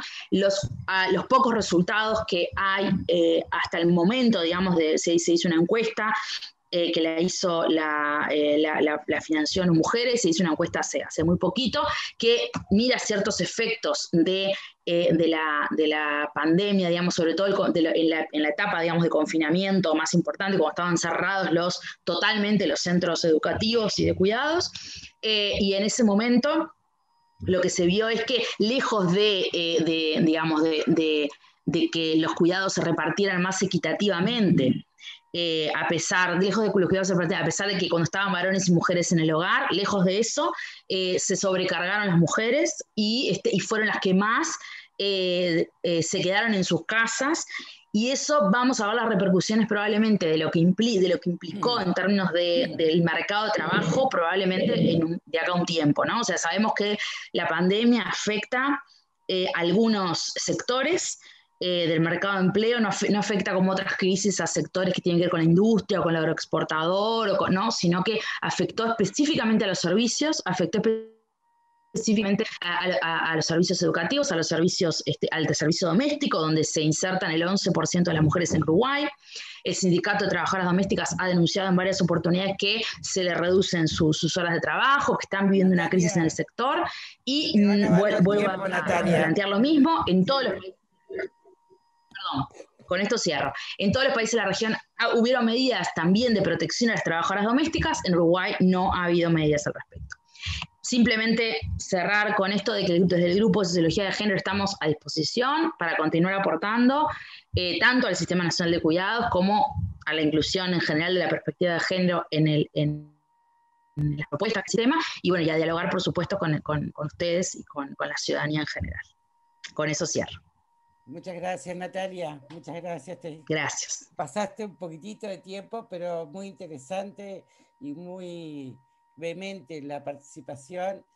Eh, y reiteradamente, no solo tú, Natalia, todos han hablado de preocupación, eh, preocupación, preocupación. Y ahí se me ocurría pensar este, cómo las políticas públicas a veces van tan lejos de la vida misma pero sin embargo repercuten tanto en la subjetividad. Y por eso lo importante de que la Facultad de Psicología esté participando de esta iniciativa universitaria de preocupación por las políticas públicas, este, también eh, involucrándose por ahí una disciplina que hace unos cuantos, un montón de tiempo, se veía bastante alejada de lo que sucede afuera y hoy este, bueno, esa interacción entre el afuera y el adentro es trabajar científicamente desde la facultad y desde la intervención profesional. Para eso vamos a escuchar ahora a Fernando Rodríguez Añón, que es otro compañero del encantador de trabajo. Él es licenciado en psicología, especializado en derechos humanos, género, masculinidades y ciclos vitales. Pertenece al programa de género, salud reproductiva y sexualidades del Instituto de Psicología de la Salud. Tiene una vastísima eh, formación en, estos temas y bueno, su ponencia está titulada como Psicología y Políticas Públicas de Salud. Te escuchamos, Fernando.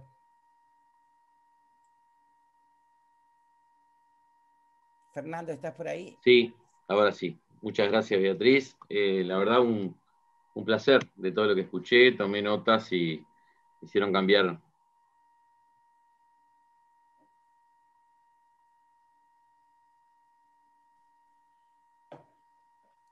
Te congelaste, Fernando. Para, dialogar. Después, ah, ah, ¿ven ahí pantalla compartida? No, y está medio congelado. Ahora sí. Bueno, intentamos, intentamos y si no, capaz que, capaz que lo leo, capaz que lo leo, minimizo acá, va a ser más fácil. Bueno, eh, les decía, bueno, un placer de estar acá escuchándoles.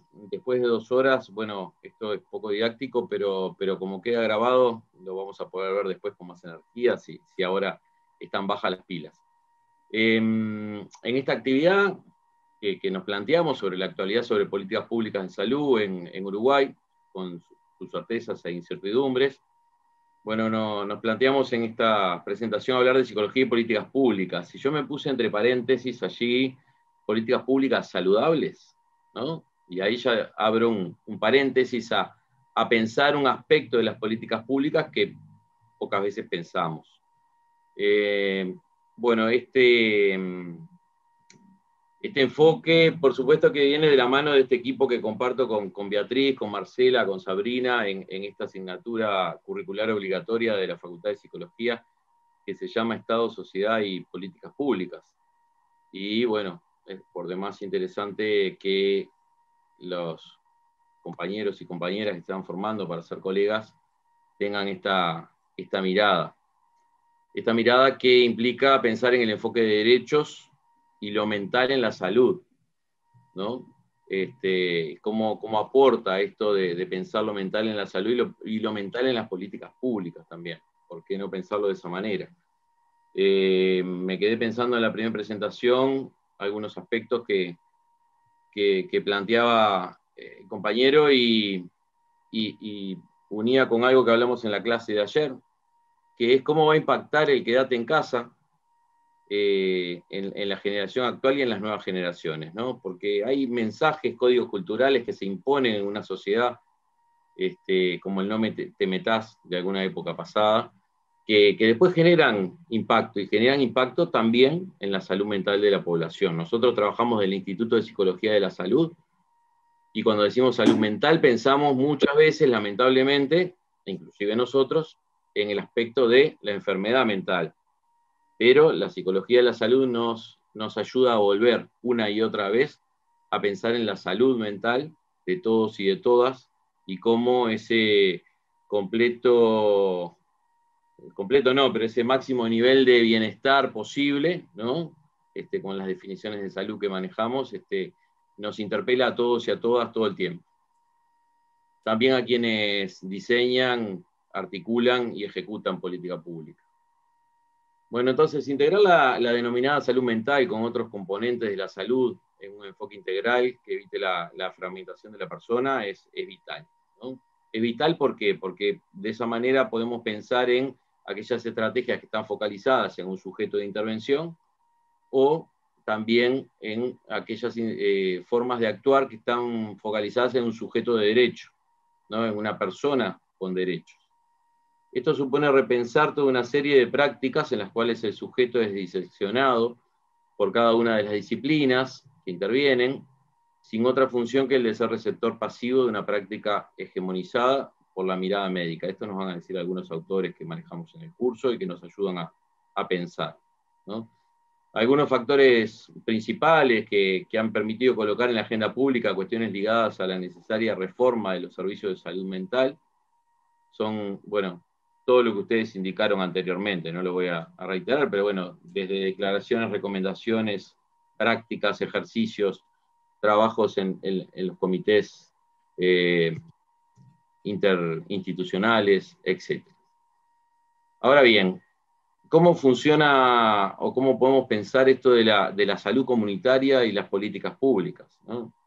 Si pretendemos cumplir con requerimientos de, reforma en el modelo de atención, de, una reforma continua, que apunte hacia, hacia una calidad cada vez mejor de, servicio y de, salud para toda la población, se impone el desarrollo de una política pública destinada al mejoramiento de la salud comunitaria, lo cual supone incluir la atención clínica, un abordaje que aúne la promoción con la prevención primaria, la asistencia y la rehabilitación para atender las problemáticas sanitarias emergentes. Todo esto, todas estas problemáticas, tan diversas como complejamente multideterminadas, requieren ser atendidas superando ficticias antinomias, que aunque teóricamente e intelectualmente lo sabemos, muchas veces se nos cuela este, esos códigos culturales impuestos como, como, tatuajes en, la piel, ¿no? en todos y en todas, este, quienes trabajamos en, temática de género, por ejemplo, como el anterior colega, sabemos que, bueno, que por más que uno estudia y practica y, ensaya discurso y, práctica, cada, cada, tanto uno se descubre repitiendo cuestiones hegemónicas y en todas las disciplinas y en todos los enfoques, ¿no? ¿Por qué? Porque, bueno, porque vivimos en esta sociedad y estamos transversalizados por, por aquellas cuestiones que, aprendimos desde la cuna. A su vez es preciso incidir en la educación superior para cumplir con requerimientos de política pública en salud y en otras que concertadamente con otros actores sociales, los referentes institucionales responsables de la formación de, de futuros profesionales debemos promover. Y acá permítame hacer un breve paréntesis, me quedé enganchado, muy enganchado con lo que decía María José Bañato y con lo que decía la compañera Perla anteriormente. Y bueno, en uno de mis trabajos en la Oficina Nacional de Servicio Civil tuve la oportunidad de trabajar mucho tiempo con Uruguay Concursa, esa ventanilla única de acceso al Estado, y conocer de primera mano, bueno, justamente cómo, cómo desde algunos enfoques de política pública que a veces son parcializados, no por mala voluntad, sino por desconocimiento de algunas lógicas, se terminan haciendo concursos de, ingreso a la función pública para personas con discapacidad eh, que son únicos para toda la población que está en determinado registro. Entonces se terminan haciendo, esto me lo explicaba Martín Nieves, un gran amigo que trabaja en, en la Comisión de Discapacidad del PCNT, se terminan generando eh, listas de prelación que están separadas por discapacidad, aunque no hayan sido voluntariamente separadas de esa manera, porque un mismo concurso a diferentes personas coloca a determinadas personas con determinada discapacidad en los primeros lugares, en los segundos, en los terceros, y dejando por último aquellas afectaciones vinculadas con eh, la, salud mental. Em, bien, entonces, em, la, actualización de planes y programas universitarios de formación, como, bueno, como lo que intentamos hacer en la Facultad de Psicología desde hace años, y creo que con muy buenos resultados, pero siempre nos va a faltar por esto de la, reforma continua que, les planteaba antes, eh, apunta al desarrollo de acciones comunitarias, a planificación estratégica y a la gestión institucional de, políticas salubristas a, largo plazo. ¿no? Esto, por supuesto, de la mano de la extensión universitaria, de la mano de, de, lo que aportan las investigadoras, los investigadores y de la formación en cuanto a procesos de enseñanza-aprendizaje continuo. La universidad tiene el desafío constante de volcarse hacia la comunidad que la alberga, permitiendo que los estudiantes visualicen claramente las prácticas ajustadas a derecho y a su vez la necesidad de que la misma oriente la atención y se convierta también en una herramienta que garantice su protección y bienestar como trabajadores del campo de la salud. Y también, permítanme agregar, conocer de primera mano los saberes de las demás personas, porque esto es un intercambio de saberes, cada quien sabe perfectamente eh, lo que le hace falta eh, para estar mejor y, entonces en ese diálogo entre los saberes disciplinares más teóricos y ese diálogo en los saberes más de la vida cotidiana de la gente, sin duda que todos aprendemos y todos crecemos este, sustantivamente. Diversas experiencias nos indican la ventaja que implica esto y genera oportunidad eh, que se retroalimenta en la formación, en la transferencia de conocimientos, etc.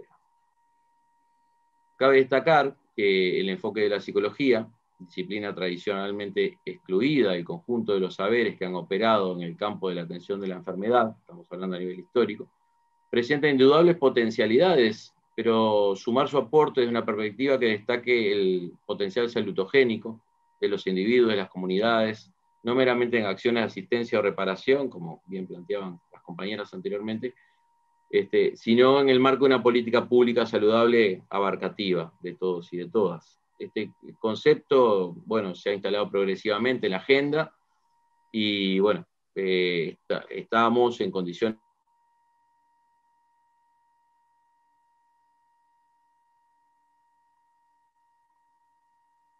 Quedaste congelado. Fernando. Sí. Sí, Beatriz. Quedaste congelado. Uy, ¿ahora? Bien, bien. Está. Bueno, se perdieron mucho, perdón, pero capaz que es inestable la, la conexión. Pocos minutos, así que dale. Perfecto, avanzamos. Eh, bueno, a ver, políticas públicas saludables, ¿qué serían? Son aquellas que fomentan la protección, el cuidado de los bienes públicos, que son considerados esenciales para el mantenimiento del bienestar y la calidad de vida de la población, tales como el, bueno, este, lo que venía planteando eh, la compañera Genta, ¿no? Las políticas públicas deben abonar eh, abordar perdón, problemas de alto grado de complejidad, pero también comprender el desarrollo de estrategias que integren a la gente, integren, este, digamos, la problemática cotidiana, como, como planteaba. La promoción de la salud debe figurar de un modo articulado en la agenda pública de todos los sectores y de todos los niveles de gobierno. Y la promoción de la salud no se ocupa solamente de promover el desarrollo de habilidades personales, sino de influir sobre la salud eh, intervenciones medioambientales cuyo objetivo sea reforzar factores que sostienen estilos de vida saludables, como también modificar aquellos otros que impiden ponerlos en práctica.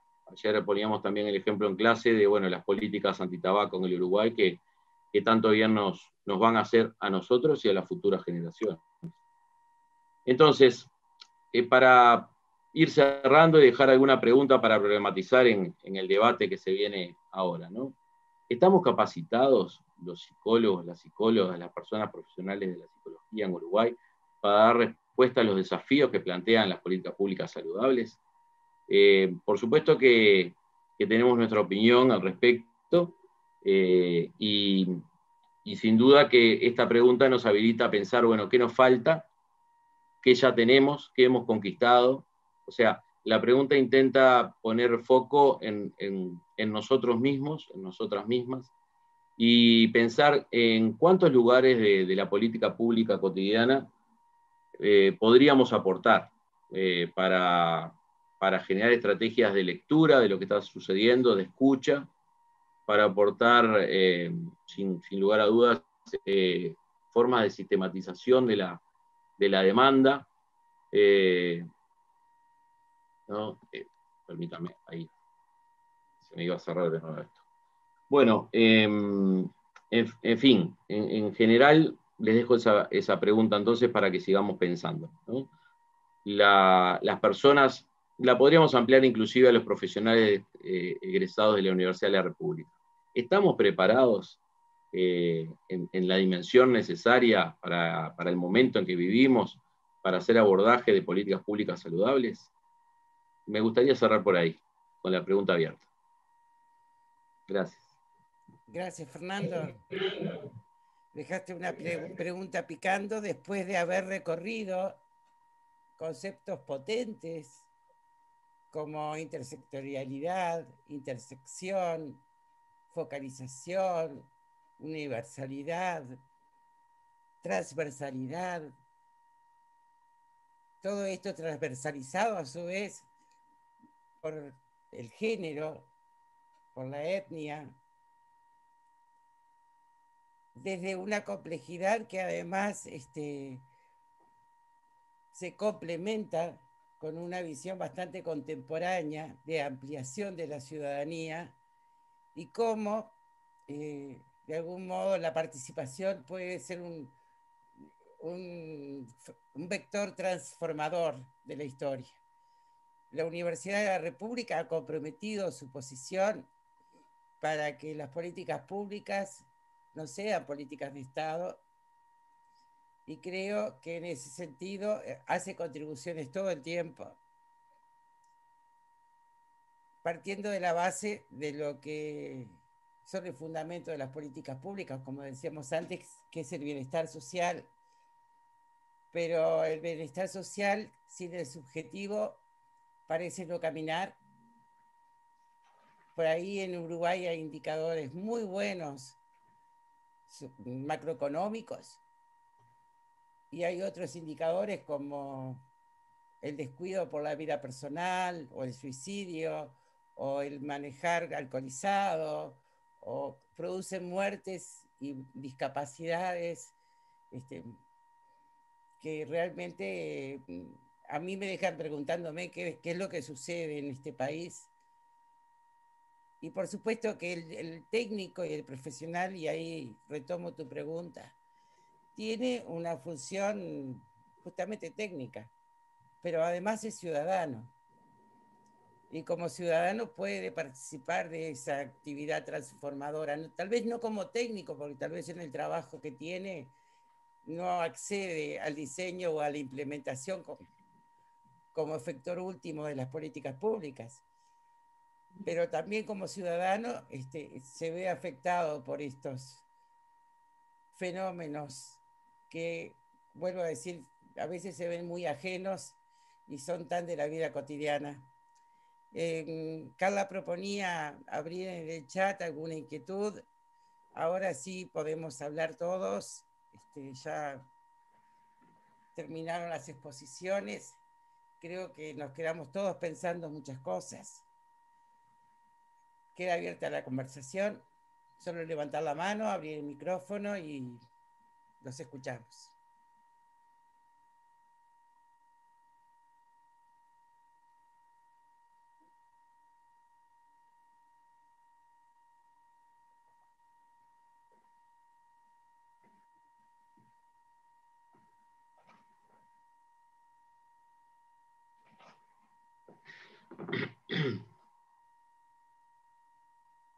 A ver quién está acomodando la voz por ahí.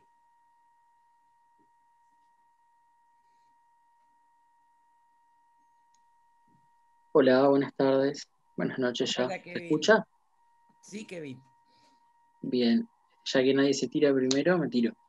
Este, una consulta que, me surgió escuchando desde hoy que, comenzaron las ponencias es que si bien son ponencias sobre temas distintos, tienen ciertos puntos de conexión, este, como son, por ejemplo, la participación ciudadana, este, como es la interseccionalidad, pero, me gustaría hacer una, consulta porque algo que se ha repetido, y creo que se ha repetido en todas las ponencias, es el cierto descuido o el cierto este, debilitamiento por parte de, este, de, las políticas públicas y cómo nosotros, o yo personalmente, ubicado como este, estudiante universitario, ¿Qué, puede aportar la, universidad o qué herramientas o mecanismos tiene para afrontar estas situaciones de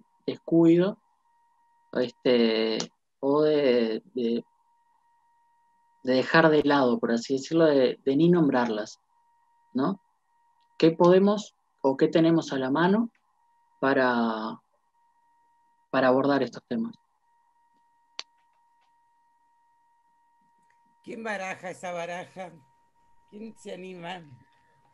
Bueno, yo si quieren algo puedo decir, Kevin. Gracias por encontrarle el hilo a, todas las exposiciones, está bueno eso. Este, yo sentí lo mismo. Creo que lo que tenemos eh, son justamente las tres funciones universitarias, ¿no? En, en, el sentido de que eh, la universidad en su artículo 2 se plantea el relacionamiento con, la comunidad y, con el país en temas de, importancia pública y en ese sentido, aunque haya libertad, digamos, de los docentes para, para investigar o para tratar los temas, sí es cierto que hay un consenso general en que eh, hemos sido como universitarios acompañando distintos procesos. Entonces creo que la, posibilidad que tenemos es generar conocimiento a través de investigaciones, intervenir en la modalidad de extensión eh, en relación a lo que se planteaba, ¿no? de acompañar los procesos de participación desde una perspectiva no dominante, ¿no? sino de habilitadora y de sistematizar experiencias y obviamente todo eso volcarlo en la formación de los futuros profesionales, ¿no? Es, es un y vuelta en este sentido, ¿no? Siempre decimos que, porque muchas veces eh, se ha cuestionado, sobre todo en la reformulación del plan de estudios, el, peso que se le da a la investigación, pero creo que una de las cuestiones importantes es que nosotros como psicólogos no podemos ser repetidores de lo que otros investigan sino que tenemos que aportar y tenemos que producir nosotros también, no por ser exclusivos, sino justamente por, por este, ayornarnos y por dar nuestro aporte. Entonces creo que las herramientas, eh, por lo menos en la universidad pública, son eh, cumplir con las tres funciones, eh, que eso se hace en distintos equipos, ¿no? Sí. ¿Me permiten complementar? Sí, Fernando. Bien. Kevin, gracias por, tu intervención y, por esta sistematización también, como bien decía María José. Eh, a mí, si me permiten, voy a leer el artículo 2 de la ley orgánica de la universidad para darte respuesta. Fines de la universidad. La universidad tendrá a su cargo la enseñanza pública superior en todos los planos de la cultura, la enseñanza artística, la habilitación para el ejercicio de las profesiones científicas y el ejercicio de las demás funciones que la ley le encomiende le incumbe a sí mismo, y acá viene la parte más relacionada con tu pregunta, a través de todos sus órganos en sus respectivas competencias, acrecentar, difundir y defender la cultura, impulsar y proteger la investigación científica y las actividades artísticas y contribuir al estudio de los problemas de interés general y proponderá su comprensión pública, defender los valores morales y los principios de justicia, libertad, bienestar social, los derechos de la persona humana la forma democrático-republicana de gobierno.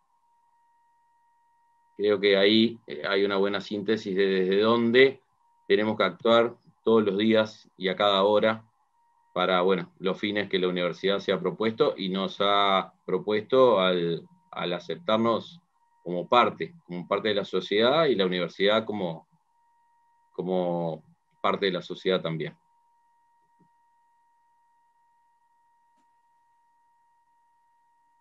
Acá pide PBT, pide la palabra, que es Perla, Perla. Perla, abrí el micrófono, por favor. Eh, no, para complementar, ¿se escucha? Sí, perfecto. Para complementar un poco lo que comentaba eh, Kevin, este, yo también que fui eh, universitaria ya jubilada y pensando en las políticas de salud, Creo que un desafío importante en las políticas públicas es la interdisciplina y creo que eh, en todo esto que hemos hablado, tanto todos los compañeros que hemos conversado, eh, el tema de la interdisciplina nos ha ido modelando diferentemente, complementariamente a nuestra formación académica. Y la universidad tiene un área de salud que yo creo que tiene algo para cumplir importantísimo vinculado a las políticas públicas, que es también transversalizar el pensamiento disciplinario y creo que ese desafío está pendiente porque cuando luego vamos a los servicios se puede trabajar en forma eh, getizada o se puede trabajar en forma interdisciplinaria y eso hace el beneficio de las políticas que hacemos en cada lugar. Gracias. Gracias, Perla.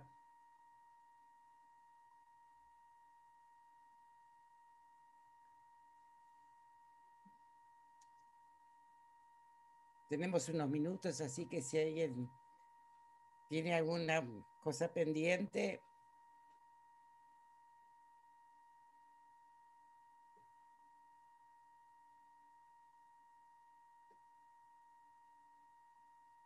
Algo que he observado en el uso del Zoom es que el uruguayo ha logrado ser más puntual y manejar los tiempos este, de forma más este, en dimensión humana, porque evidentemente ha sido una jornada larga, muy rica para mí.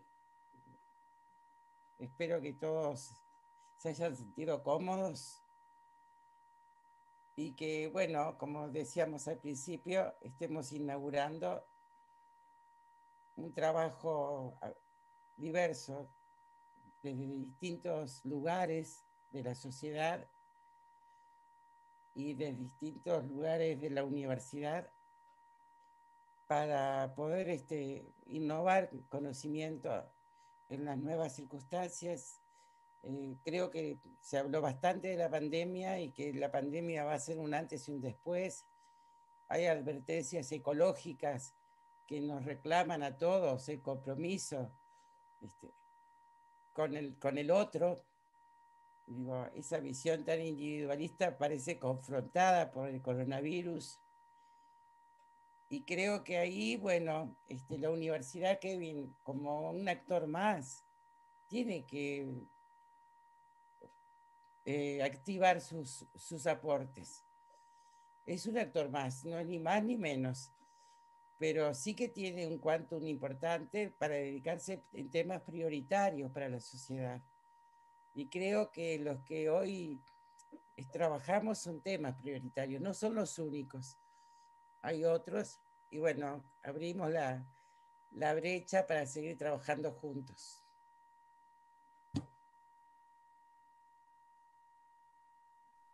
Si me permitís, Beatriz, este, una pequeña intervención, porque ya, ya es tarde y estamos todos, todas cansados, me imagino.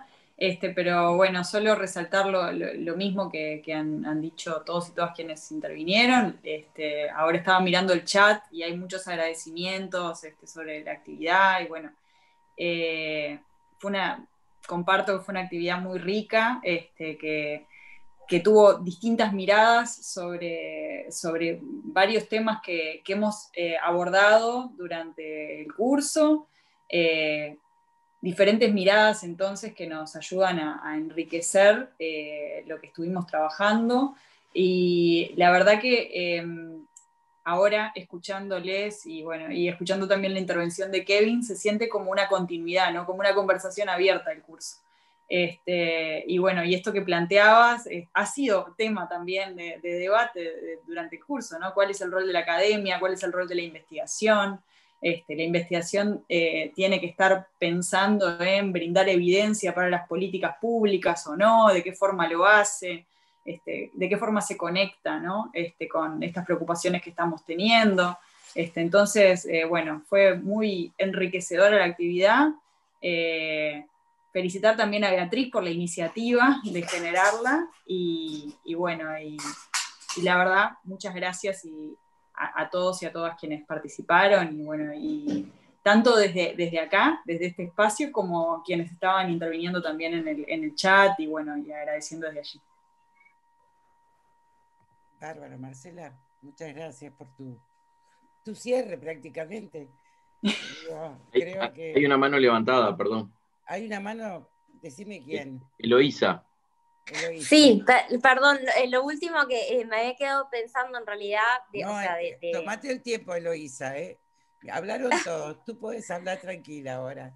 Vamos a escuchar. Justo siento la presencia de que soy la última y tengo que, hablar todo rápido. No, pero sí en realidad como lo que me dejó más como picando de, todo lo que, lo que se expuso es como la perspectiva de género siempre eh, como que vuelve en todo porque eh, si, bien todo el tiempo se está trabajando y, se cree quizás como cosas que ya están superadas o, como obvias, y como todo esto de la pandemia que, que, como que ha movilizado todo, trae de nuevo todo esto de que cuando hay que cuidar a alguien o cuando alguien se tiene que quedar en la casa, siempre sigue siendo la mujer y como que eso está eh, tan marcado que, si bien se ha trabajado muchísimo y, se, y, te da como la falsa imagen de que se ha superado y en realidad, o sea, me, hace pensar todo esto de que en realidad no es así porque cuando pasa esto, eh, siempre el foco está puesto en la mujer que, vuelve al cuidado, también lo que es el, adulto mayor, siempre va a ser la abuela a la que esté cuidando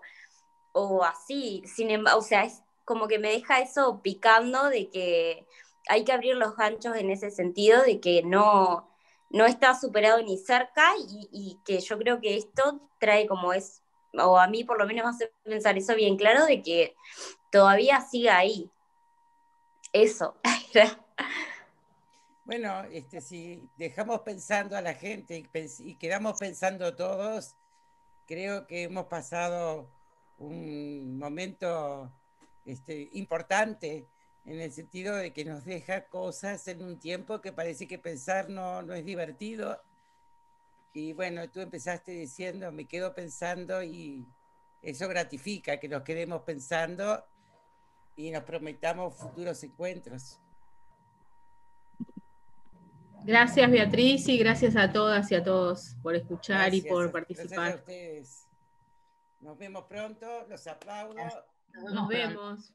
A todos. Gracias.